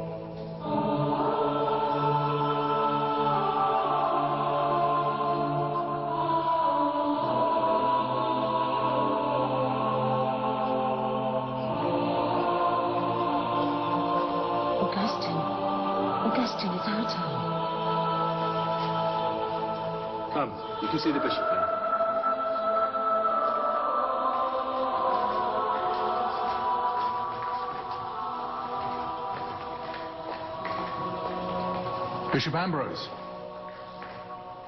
What an honor. My mother, Monica, she really has insisted upon meeting you. It's a pleasure to meet the new orator's mother. Are you a Catholic, my child? Yes. This time we outnumber you. Are you preparing another sermon? Oh, no. No, it's the philosopher Plotinus. Plotinus? But he's not a Christian. No, but he's a great philosopher. There's a lot of truth in his work. And as the gospel says, who isn't against us is with us. So anybody against you would be against the truth. Who is against the truth is against himself. So this is the reason why you gave up the governor's office. My reasons are not as visible, nor as apparent as one may think. They're not visible. Ah, like the spirit thing you talked about in your sermon. It's in Paul's scriptures that talk about it. I only gave my comments on his words. Invisible. But giving life at the same time. You are an intelligent man, Ambrose. Don't you find it all hard to believe? Is the love you have for your woman visible? I would argue that it isn't. Yet, you managed to create a new life from it. Something very tangible. I see you've made inquiries about me. Isn't it what you are doing right now? You deserve your notoriety. And I'm sure in your speech to the Emperor, you'll go a long way towards establishing yours.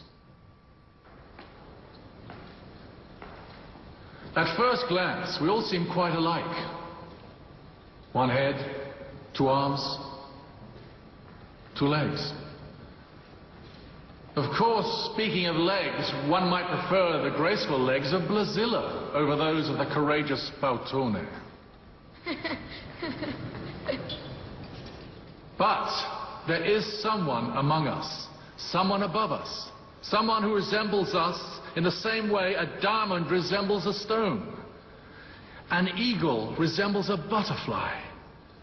A star resembles the flame of a candle. Our Emperor Valentinian.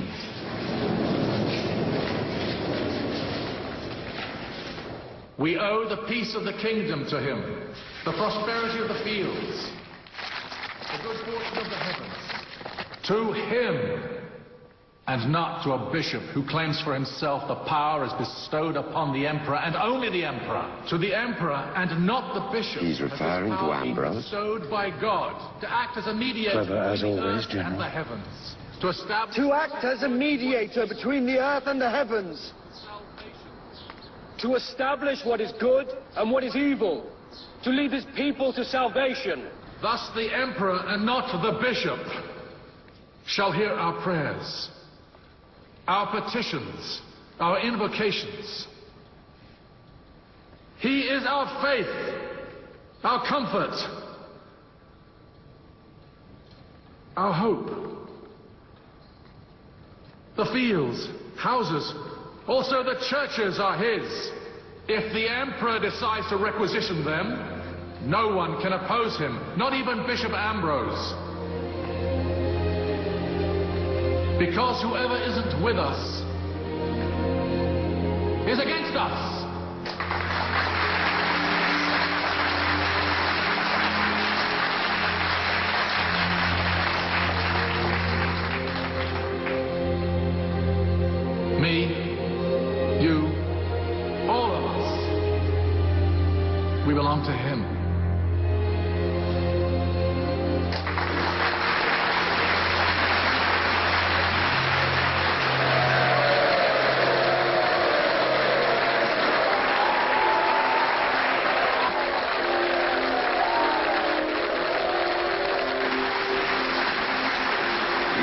Speech yesterday was quite successful.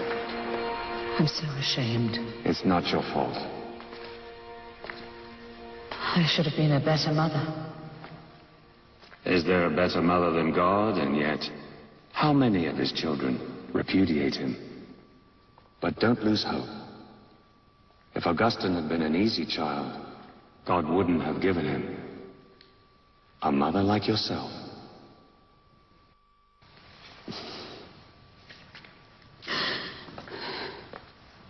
Ah, here she is now. We were just talking about you today. We didn't think you were coming. you would say that.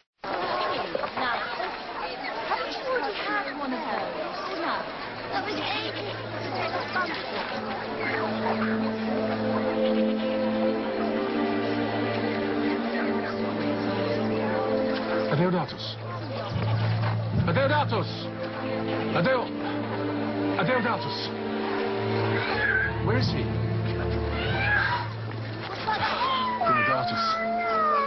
There, there. No, no, no. Come on. Hey. Augustine, oh. I have great news. Come on. Guess what the Emperor has asked me. For a rocking horse? This is not the time for sarcasm. The Empress Mother has taken the words from your speech literally. She's asked us to requisition Ambrose's Basilica. You and I. Not Bautoni or one of the other officials. What did I tell you? We are becoming increasingly more influential. Great. But we still have to see if Ambrose will obey us. You are the Emperor's voice, and the Emperor is, remember your speech, right? The mediator between the earth and the heavens? You convinced everyone of this. How could Ambrose possibly stand in opposition to one of the Emperor's orders? Hmm? Tonight we celebrate.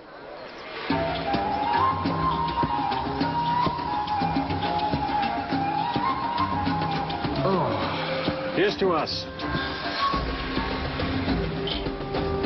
By the way, the Manichaeans of Milan have asked me to invite you to one of their rites tomorrow night. I want nothing more to do with them. You've been a Manichaean for years. What happened? Years of obscurity. I only needed to read Plotinus to realize that. Is he a Christian philosopher? No. Just a great philosopher. Augustine, the Manichaeans are powerful. Your presence here today is in part due to them. Even if you don't want to be one of them anymore, pretend. Pretend? Pretend that Valentinian is a great emperor. That Bautoni is, is a soldier. That I am a Manichaean. We can pretend everything we want, Valerius, but not everything can be pretended.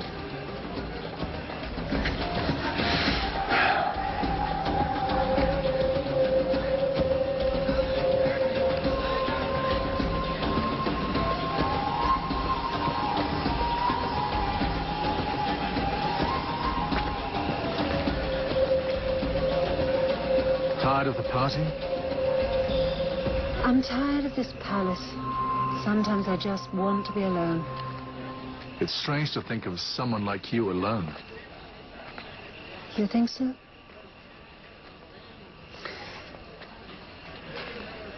Where's your wife?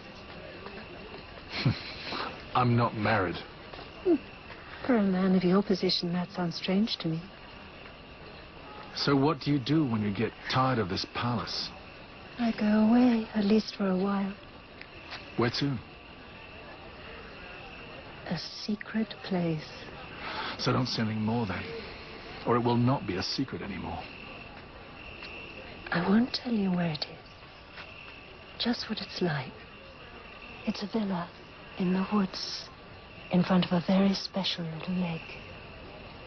It's a natural spring-fed lake. And the water is hot. Always hot. Close your eyes. Imagine how it is in the winter. To take a dip at night and snow all around you. I've never seen snow before. You should come. But it's your secret place. You're good with words. Maybe one day you'll convince me to reveal it.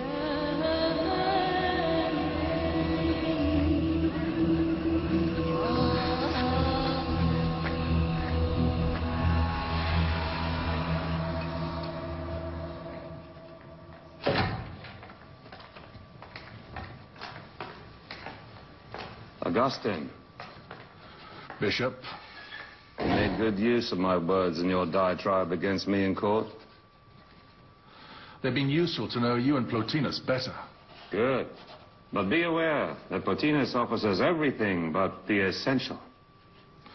That the truth is not an idea, a concept, or a state of mind, but is manifest in one divine person. We're here on behalf of Emperor Valentinian. Very well. And I'm here on behalf of Jesus Christ, the Son of God. The Emperor demands that you surrender this basilica to the Arian community. Demands?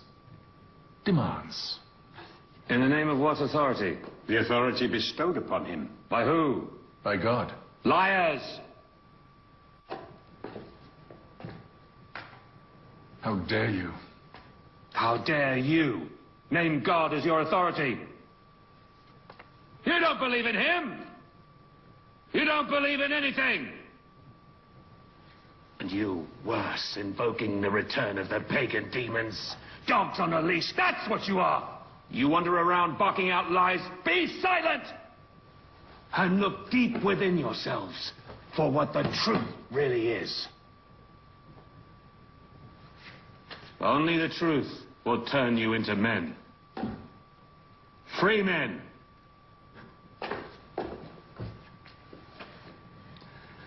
We'll be forced to report your conduct to the Emperor. Tell them, if they want to get rid of me, they must attack me, not my people. Let's go. Augustine, remember what I said. Finds the truth, but the truth that finds the man. Because the truth is a person. It's Jesus Christ, the Son of God. Hmm.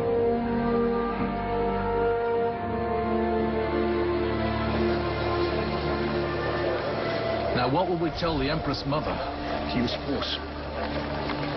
To send Bautone and his soldiers to take Ambrose's basilica. The people will not be pleased. They'll all side with Ambrose again. No. Because you, with your words, you will make the people pleased. And you will keep them all on our side. Everything is at stake here, Augustine. Are you with me?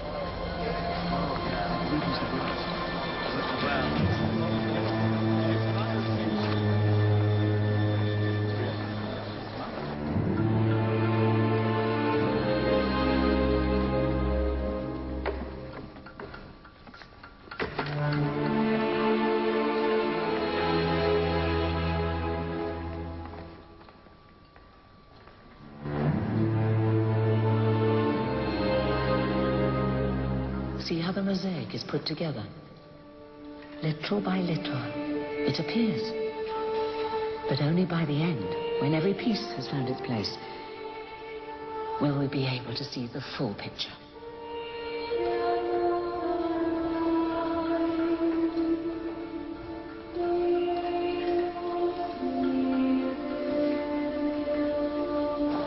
I'm leaving you in the best hands.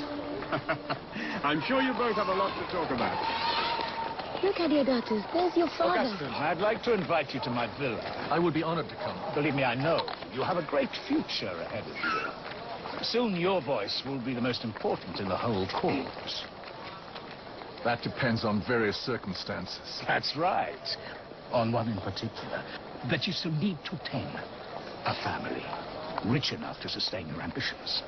A family like yours. And you must know that I also have a daughter. In two years' time, she'll be of marrying age. Uniting you in marriage would be a good solution for me as much as for you. That is, if you want your voice to be the most important in court.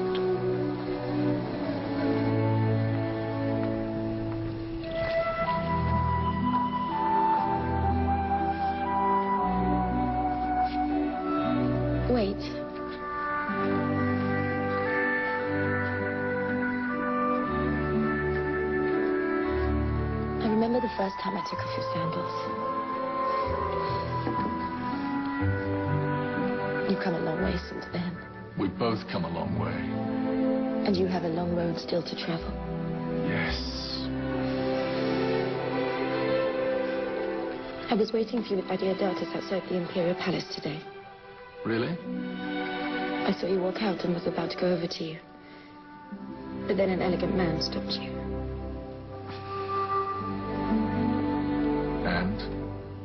I walked away. You walked away. Yes. Why? I didn't want to be a bother to you. I didn't want to get in your way.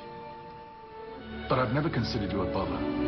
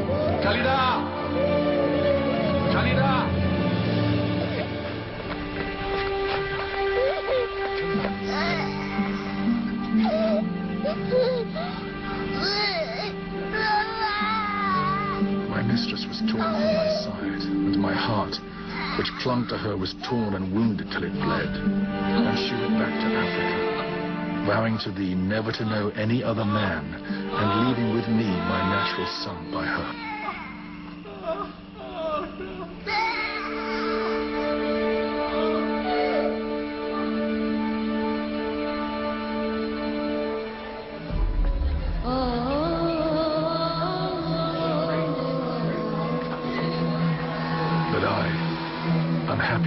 Was, could not bear the delay of the two years that should elapse before I could obtain the bride I sought. And so, I procured another mistress. Not as a wife, of course, but so the disease of my soul might be nursed up and kept in its vigor.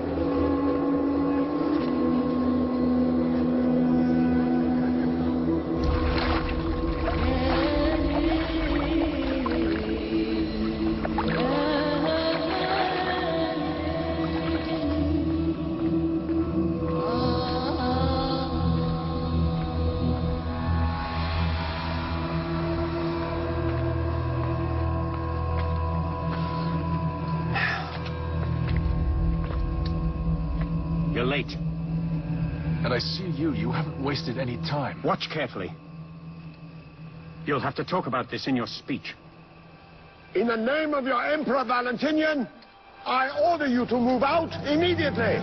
The Basilica will be requisitioned before daybreak. Give to Caesar what is Caesar's, and to God what is God's. God doesn't ask the emperor for his palace, and the emperor mustn't ask God for his home. If there is a God, Bishop Ambrose, he resides in the palace of the emperor, not in your basilica. There is a God, Valerius. And he has to reside in the hearts of all men, even in yours. No opposition shall be tolerated. Whatever happens will be because you wanted it to. Whatever happens, Valerius, is because God wanted it to happen.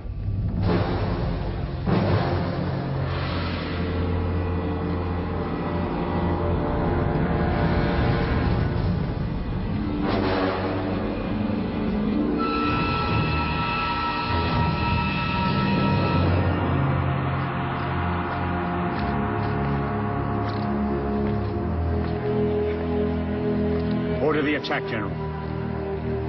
Against unarmed civilians? Yes, unarmed. Will you be the one to tell the Empress Mother that they blocked your soldiers?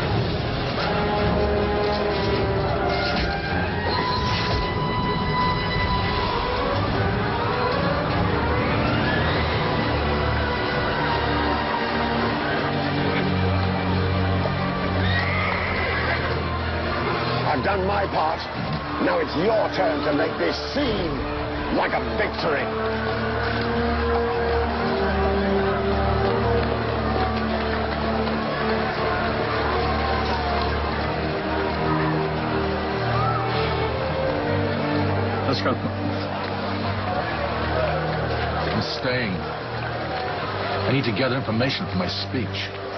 Good. You will need all your talent tomorrow.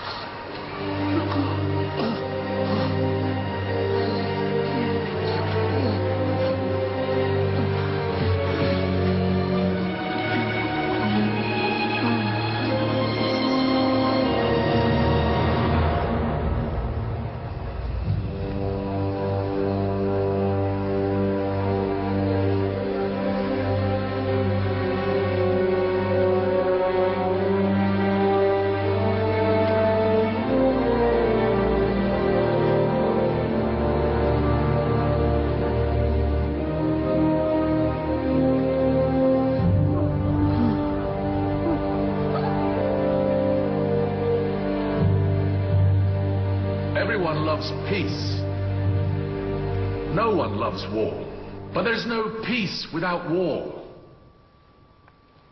If we want secure borders, then we have to use strength. If we want a safe city, then we have to be firm.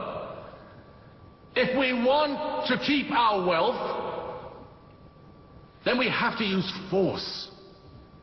That's why an emperor has to be ready to use force.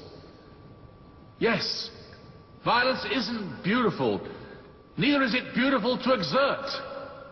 But someone has to take on this burden. Someone like General Bautone. Someone who has been able to protect us against our ferocious Goths and fanatical Catholics. Thus he deserves our gratitude for having defended us against our external and internal enemies, for having bestowed honor upon Rome.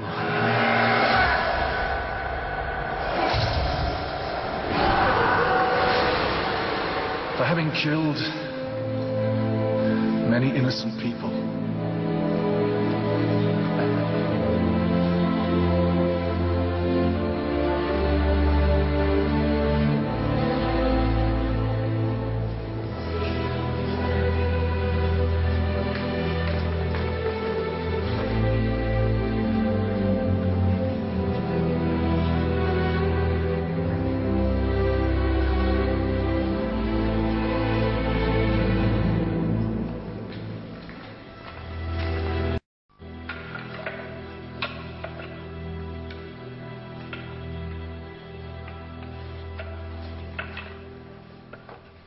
hungry.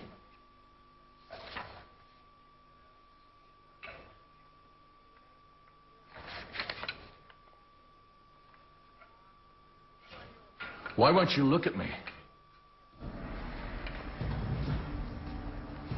Would you like your son?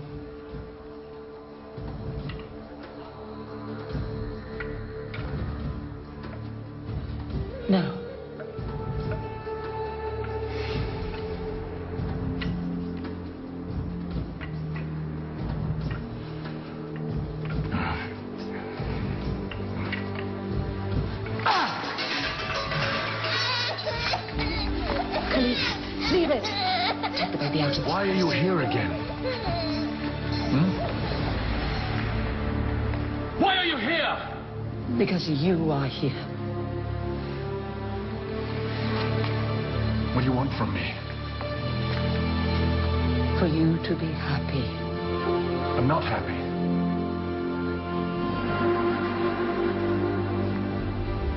Right? I'm not happy. And I don't want you here.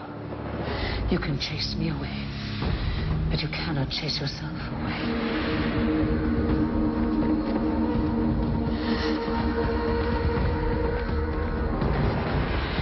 Remember who you are.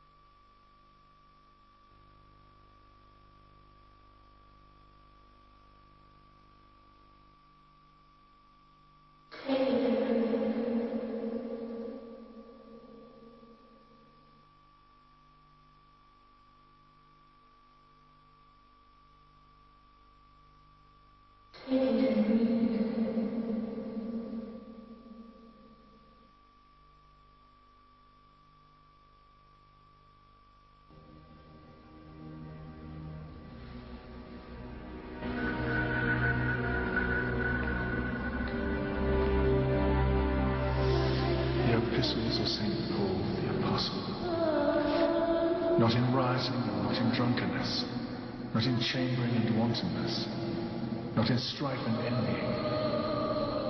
But put ye on the Lord Jesus Christ, and make not provision for the flesh to fulfill the lusts thereof.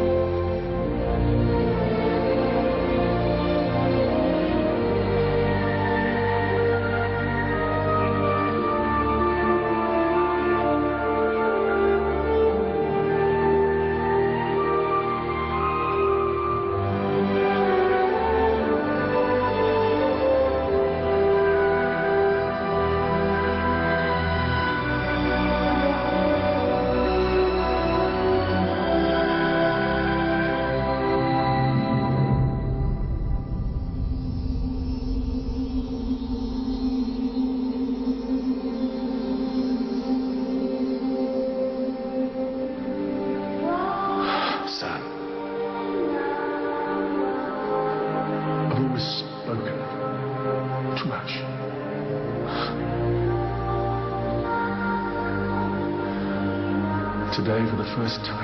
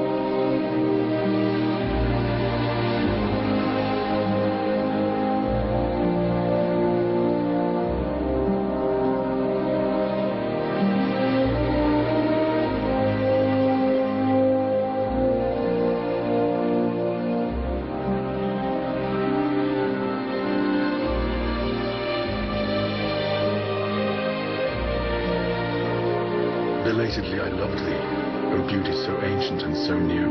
Belatedly I loved thee. Thou didst cry aloud and force open my deafness. Thou didst shine and chase away my blindness. Thou didst breathe fragrant odors, and I drew in my breath. And now I pant for thee. Amen. I tasted, and now I hunger and thirst. Thou didst touch me, and I burned for thy peace. You have humiliated yourself. You have humiliated the Emperor, my son. You have humiliated the whole Empire. You are dismissed as court orator to the Emperor. You are no longer the Emperor's voice. Nobody will ever listen to your voice.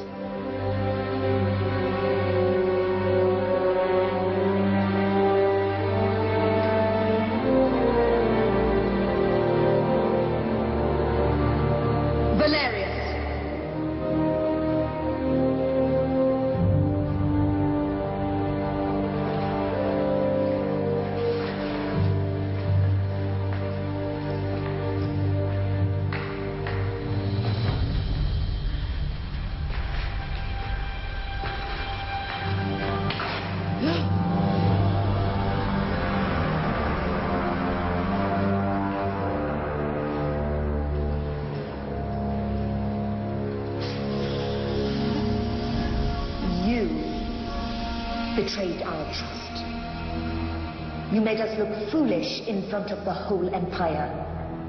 We will not tolerate being made to look ridiculous.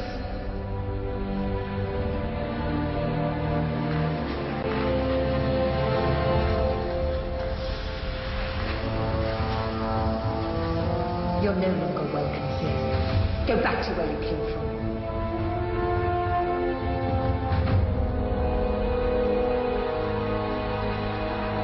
They didn't succeed in requisitioning the Basilica. Your conversion has given courage to the people who now fill it. The Empress couldn't kill us all.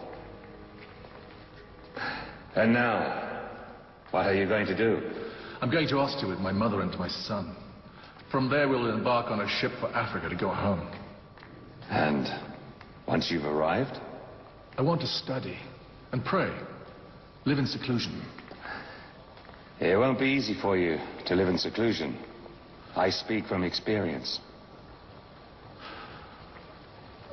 I don't feel worthy of priesthood. He'll ask more of you than that. Here. It's ink.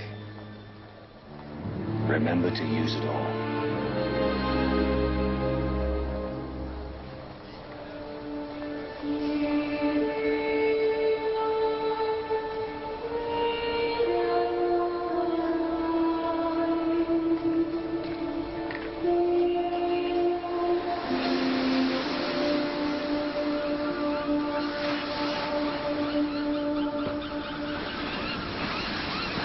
I've spoken with the captain.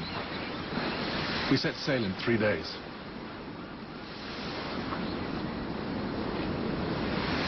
I always wished to be buried in my homeland, in Africa. It's not the time to be thinking about that, Mother. But you know, it doesn't matter anymore. You can bury me anywhere, even here. There was only one thing I've ever desired. Lived for. To see you baptized before I died. Give me your hand.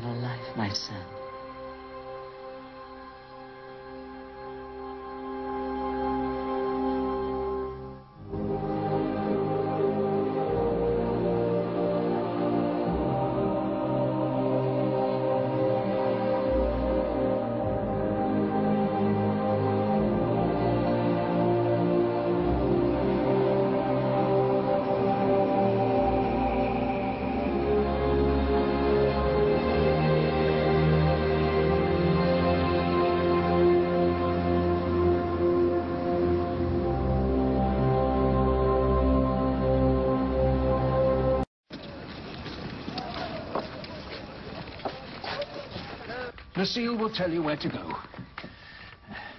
Yes.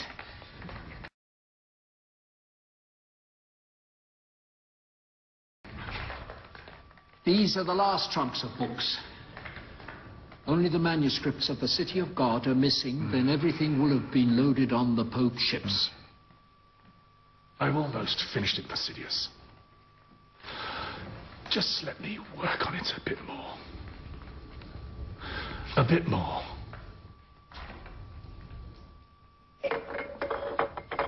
Come on, come on. Out through the side door. Quick about it.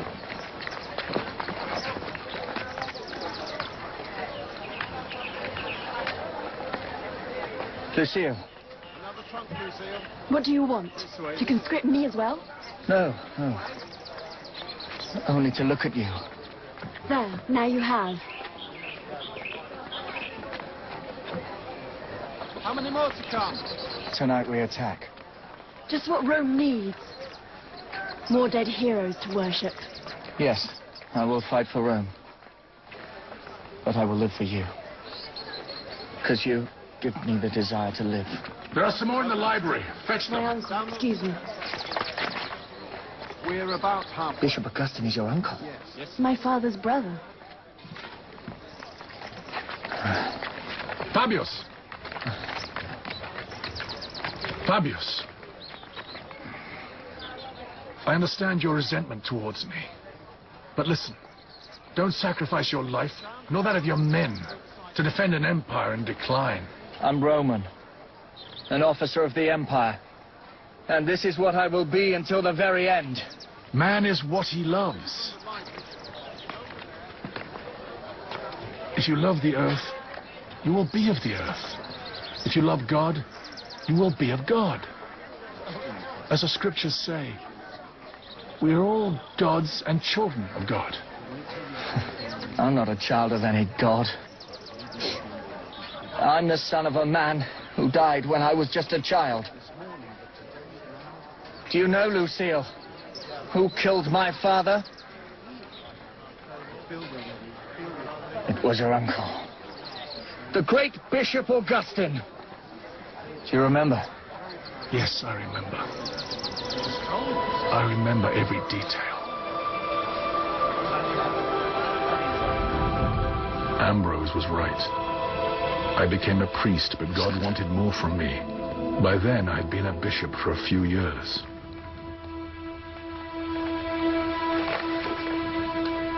Now that the confessions is finished, what will you dictate in this room? I have a few ideas in mind, but only one in particular is urgent. A book to defend the church from the accusation that it's leading the empire to ruin. In fact, since Rome was sacked by Alaric, the church has been blamed for everything. Instead, the church will be the one to hold on to the traditions of Rome. In these uncertain times that are in store for us. Have you chosen the title? The City of God. Bishop. Something terrible. Oh, dear. Oh, God. It's Father Babulus. His hands have been cut off. Why? And his tongue has been cut out. The Donatists have done this. The fanatic Donatists. There is a difference. I know the difference. But when word of the murder gets out, people won't make such a subtle distinction. We could risk the breakout of civil war between the Catholics and the Donatists.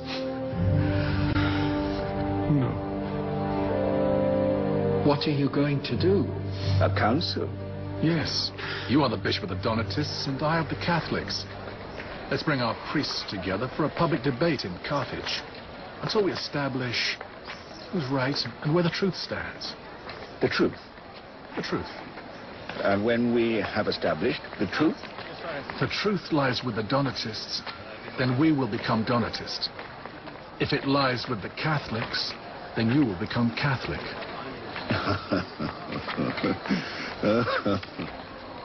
we all want peace, but there's no real peace without the truth. Let's find it together. That would be an unfair dispute.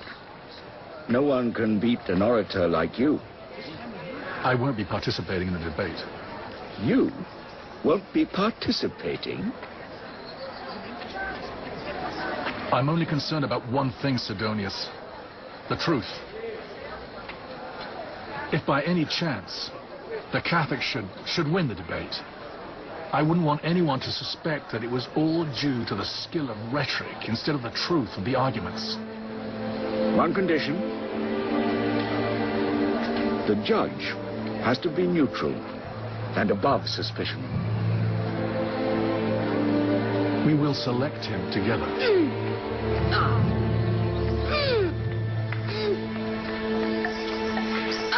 Hilarius Domitius. We come to Carthage because you are the most esteemed judge in the province. I usually judge criminal matters, not religious ones. I'm not even Christian. It's not different. You just need to judge the truth. You must have a lot of faith in yourselves to put everything at stake in a public debate. Not in ourselves. In the truth. Many people have already died in this conflict. That's why we need you. Fabius.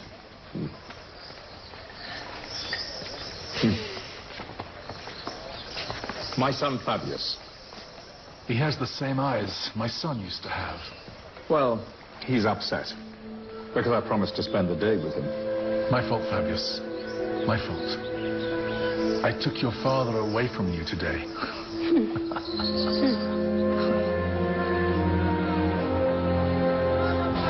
Are you really sure you don't want to speak today? You'll do fine.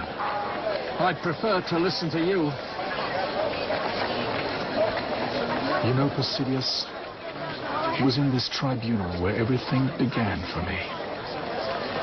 Let's hope that this is not where everything ends for you.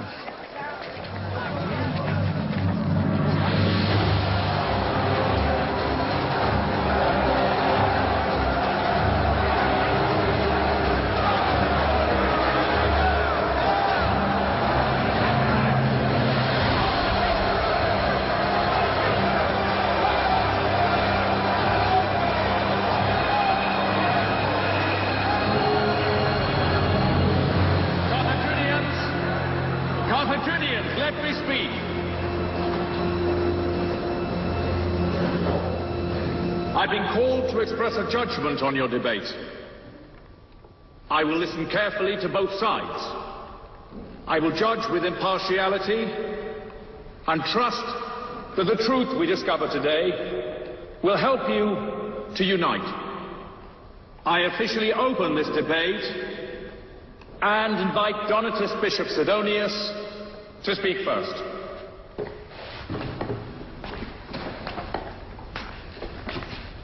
The illustrious judge, today I speak before you, gentlemen, ladies, and our God.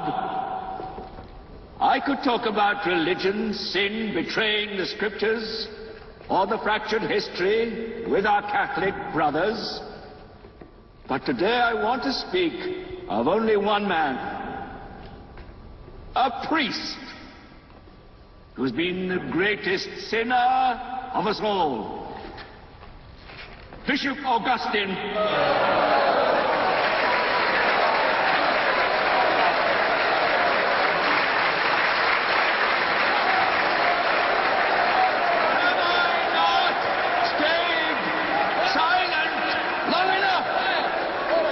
It's time we pull back the veils that have hidden the truth of your beloved bishop.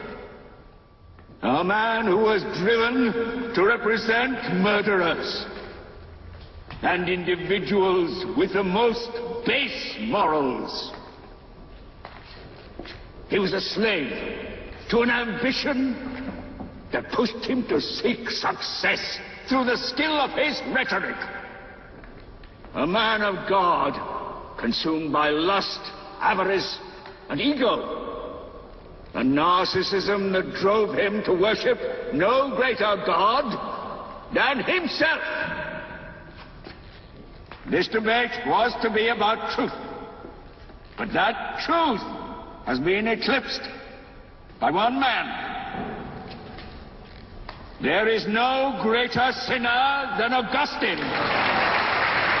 The fact that he became a priest is proof that Catholics cannot be trusted.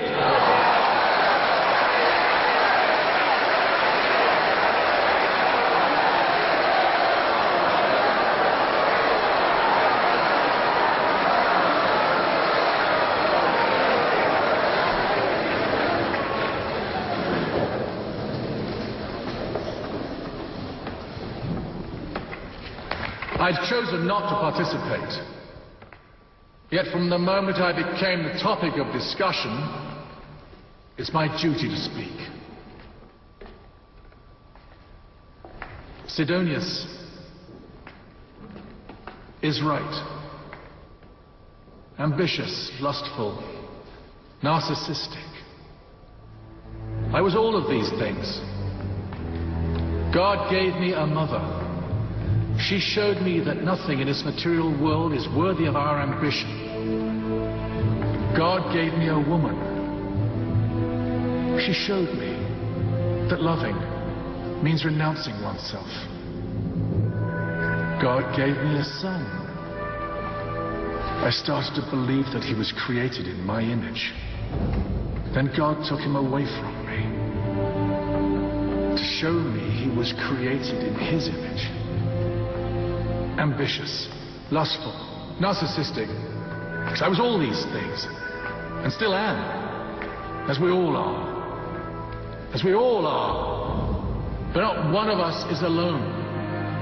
Ever. Not even when we're in desperation, bitterness, darkness. God is close to us. God is more brother than any brother. He's more friend than any friend. More lover than any lover.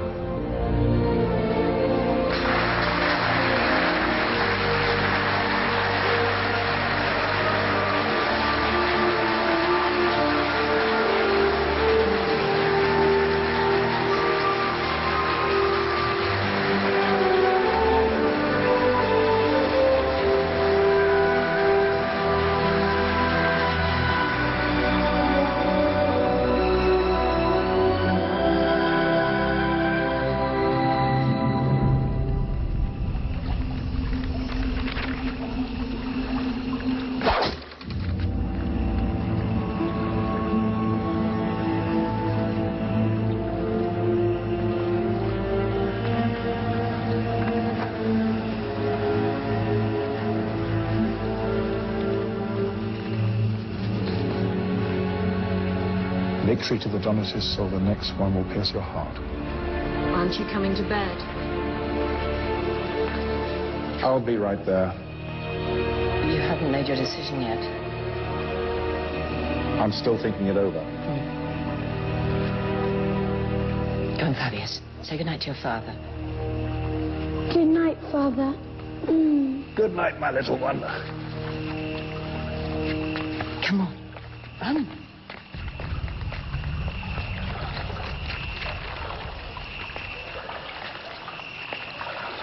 I wish Augustin hadn't dragged you into this whole matter.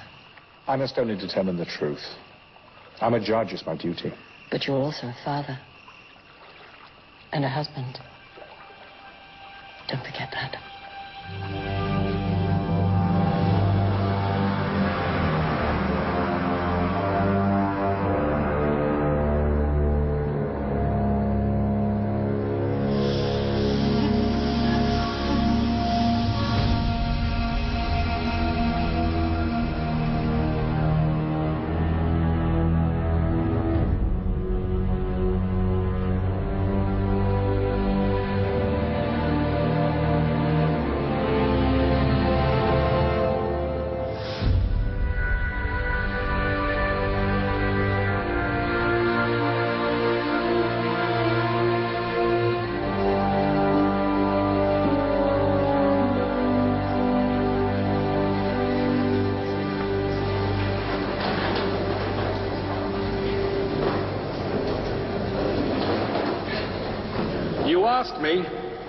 To give a verdict on your debates. Well then, when a judge pronounces his opinion, he also expresses a judgment of himself. Good judgment if he was just in his decision. Bad judgment if his decision was warped. And thus, with great interest in the name of the authority bestowed upon me, the victory of the debate goes to the Catholic orators. The doctrine they uphold is the truth.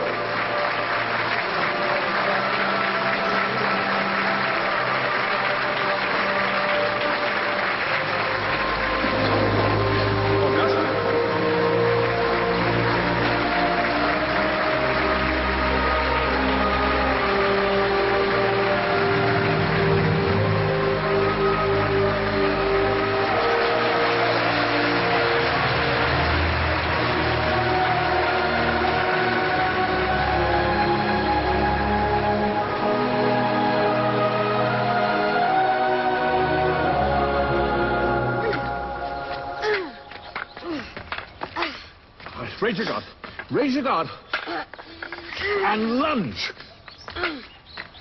Excellent. One day you'll have to defend your family along with the whole of Rome and the Empire. Where will you be? Well, I'll get old eventually. Father!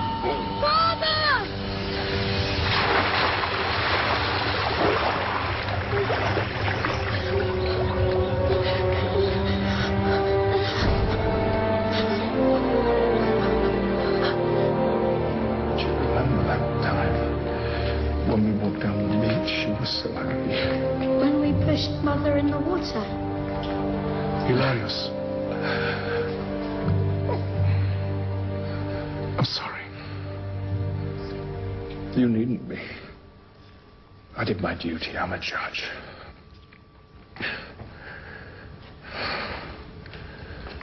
Give me your blessing.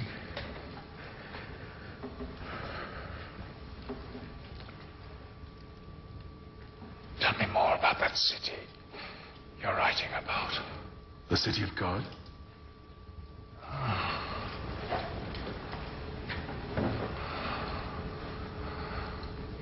Soon. You'll know it better than I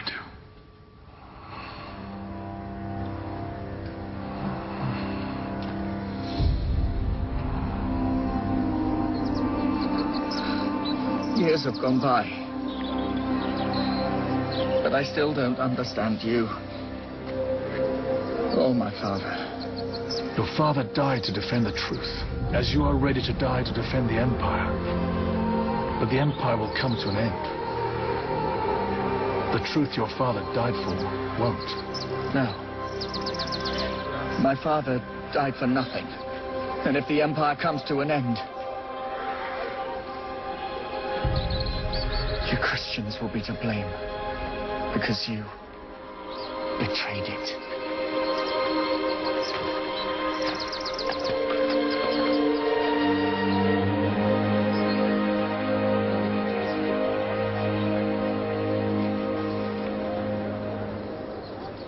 They're coming. Fabius doesn't need to attack after all. We'll wait for the fleet to arrive from Rome. I'll go and tell him. Wait. If Fabius is successful, it will be my success. If he fails, the fleet will arrive and will resolve everything, proving to everyone that I was right.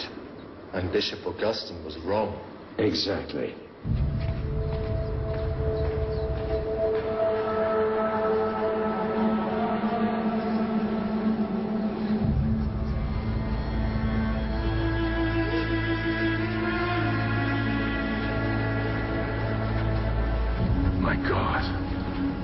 From the abyss of the sea, the depths of the heart of man bursts forth storms, wars. And you seem to be overcome by slumber, like the day on Lake Tiberias, when you were in the boat with your apostles. Then I, as they did, must cry out, Master, Master, we are about to die. Do you not care? Wake up, Master. Calm the winds like on that day. Come on, move! The hearts of men. And ask us like you did on that day, why are you so afraid? Have ye no faith?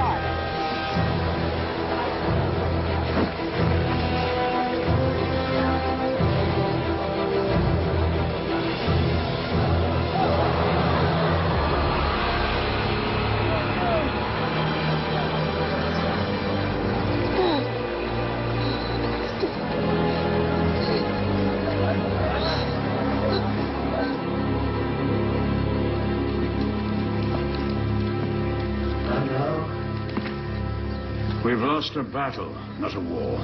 People have lost their heads, not just a battle. Well, let's try not to lose ours as well. Trust me.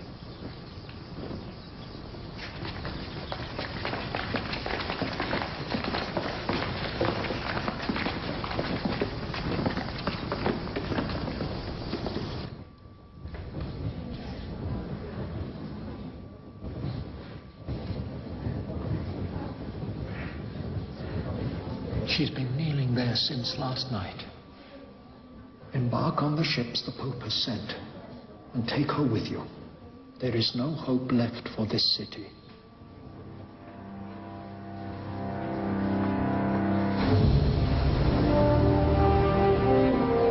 If I don't return, you take charge of Hippo.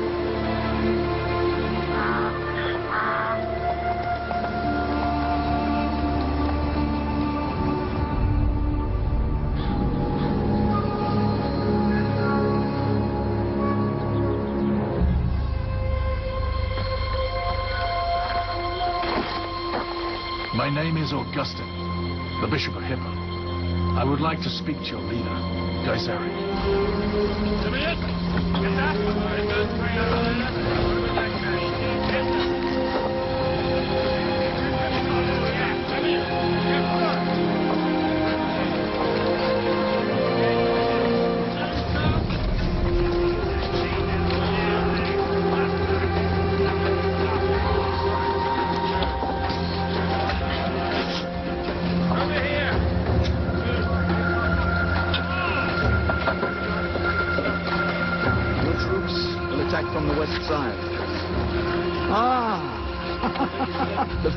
Bishop. They must be really desperate in Hippo if they decided to risk the life of their most illustrious citizen.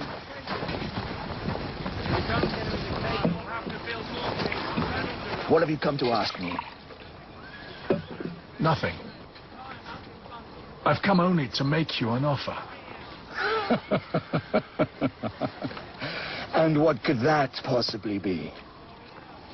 The chance to become a great king. I'm already king. A king of a great empire. No. You're just a bandit of a small gang. You only fight to increase your wealth. What is that if not banditry? Without laws or unifying the people, all you rule over is a string of conquered villages. To become a great king, it takes more than being able to, to plunder and pillage. It takes a vision, benevolence, a firm hand that can build as well as destroy. What do you want your legacy to be? That of a king or that of a bandit? Do the right thing. Free the prisoners. And take me instead.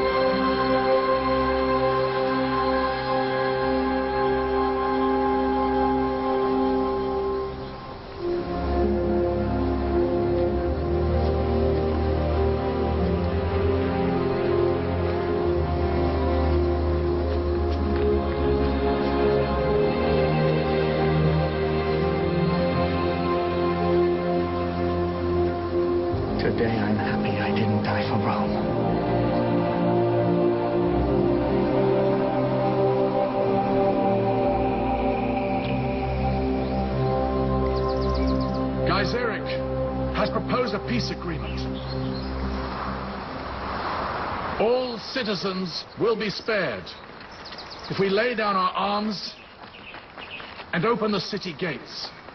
This will be the beginning of a new era for Hippo. It will be completely different from now. Yes, but we should not fear. We should not fear our next of kin. And today the Vandals are the next of kin that God has sent us.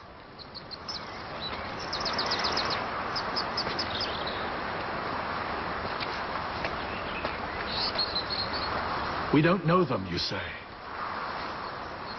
They are men, I tell you. They are different from us, you say. No more different than any other men, I tell you. They are our enemies, you say. They will become our friends, I tell you. What will be left of Hippo if it falls into the hands of the Vandals? A city is its citizens, Governor, not its walls. Walls are important, Bishop. To open the doors of Hippo means to lose everything. Homes, possessions, power. Yes, everything. But that's a reasonable price for life. What kind of life would that be? It would be life.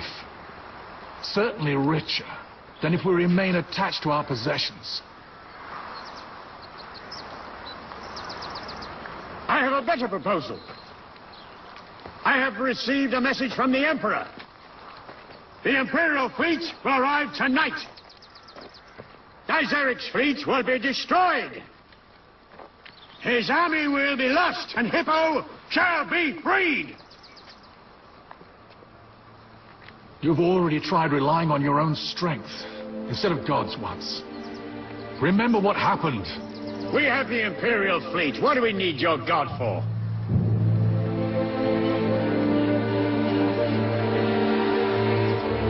If you have come to this decision, then you no longer need me. This is the decision we have made. Tomorrow at dawn, the ships the Pope has sent will leave. Whoever wants to embark is more than welcome.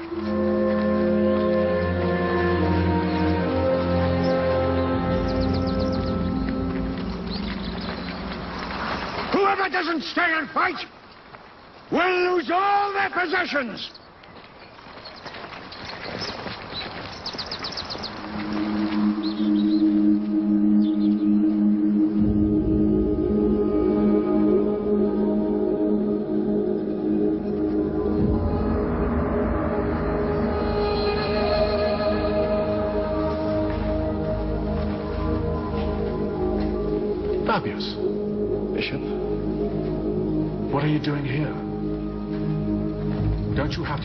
To be prepared to be freed by the Imperial fleet? I don't need that type of freedom anymore. You've already freed me today. No. The Lord has freed you. I didn't even know you were still alive. I'm not talking about freedom from Geiseric. I'm talking about the freedom from the old Rome. You've made me believe that there can be a new Rome, one not built on fear or powerful weapons or past glories. We need a city founded on hope, faith, and even a love for our enemies. It has to be a city of A city of God.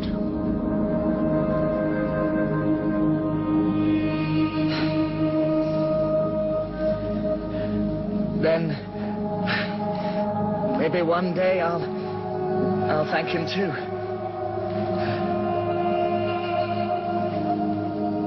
I remember my father on his deathbed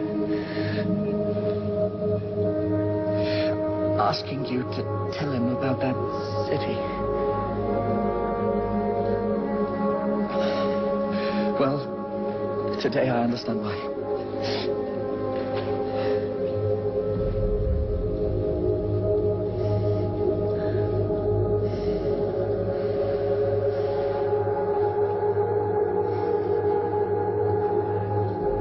There's one more thing I want to ask you, Bishop.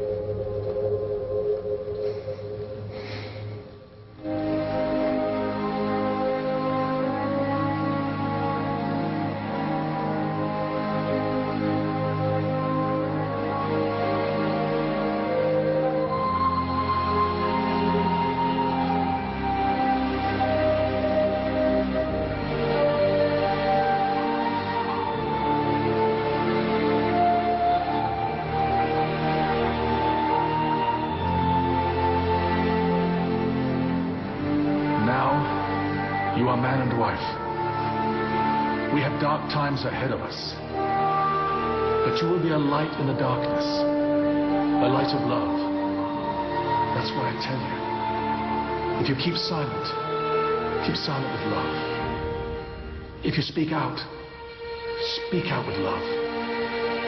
If you discipline, discipline with love. If you forgive, forgive with love. Let love take root within you. For only goodness can arise from this origin. Love. And do as you wish.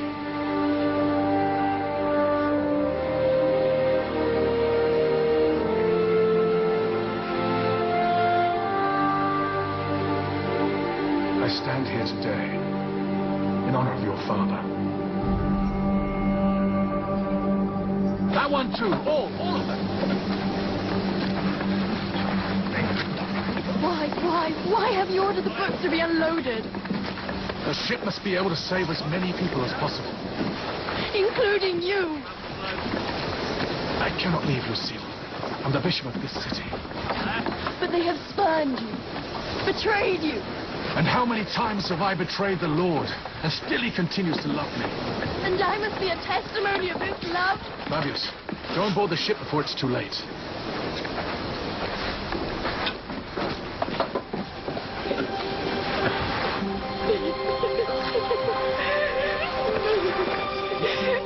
and take care of her.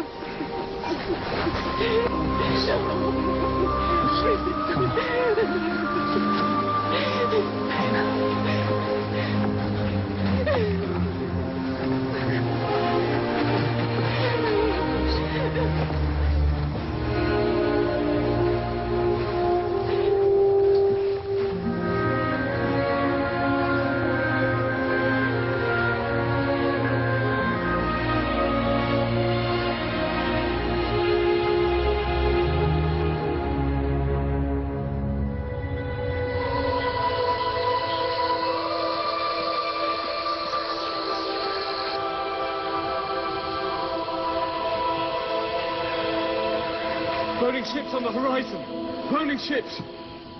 Vandal ships or Roman ships? It's impossible to say. Right Vandal ships or Roman ships? It's impossible to say right now, Master. We must wait for daybreak.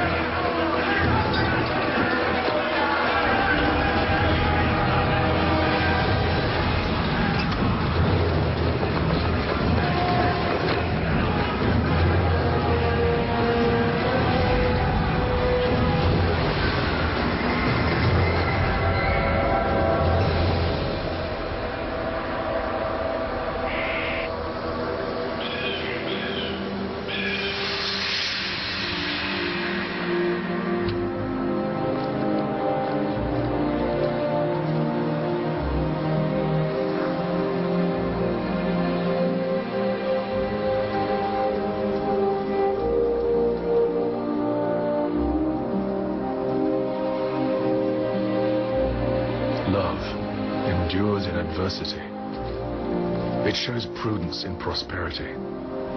It is strong in suffering. It rejoices in good deeds. It is safe from temptation. It is generous in hospitality, cheerful among true brothers, patient with the faithless. It is the spirit of holy books, the virtue of prophecy, the salvation of the mysteries. It is the strength of knowledge, the bounty of faith. It is wealth for the poor, life for the dying. Love is everything.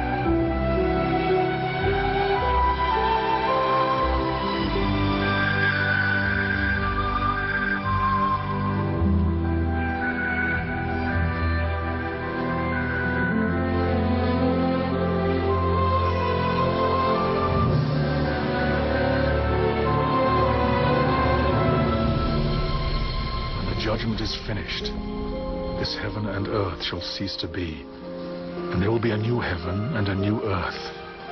For this world shall pass away by transmutation, not by absolute destruction. And therefore, St. Paul says, For the figure of this world passes away.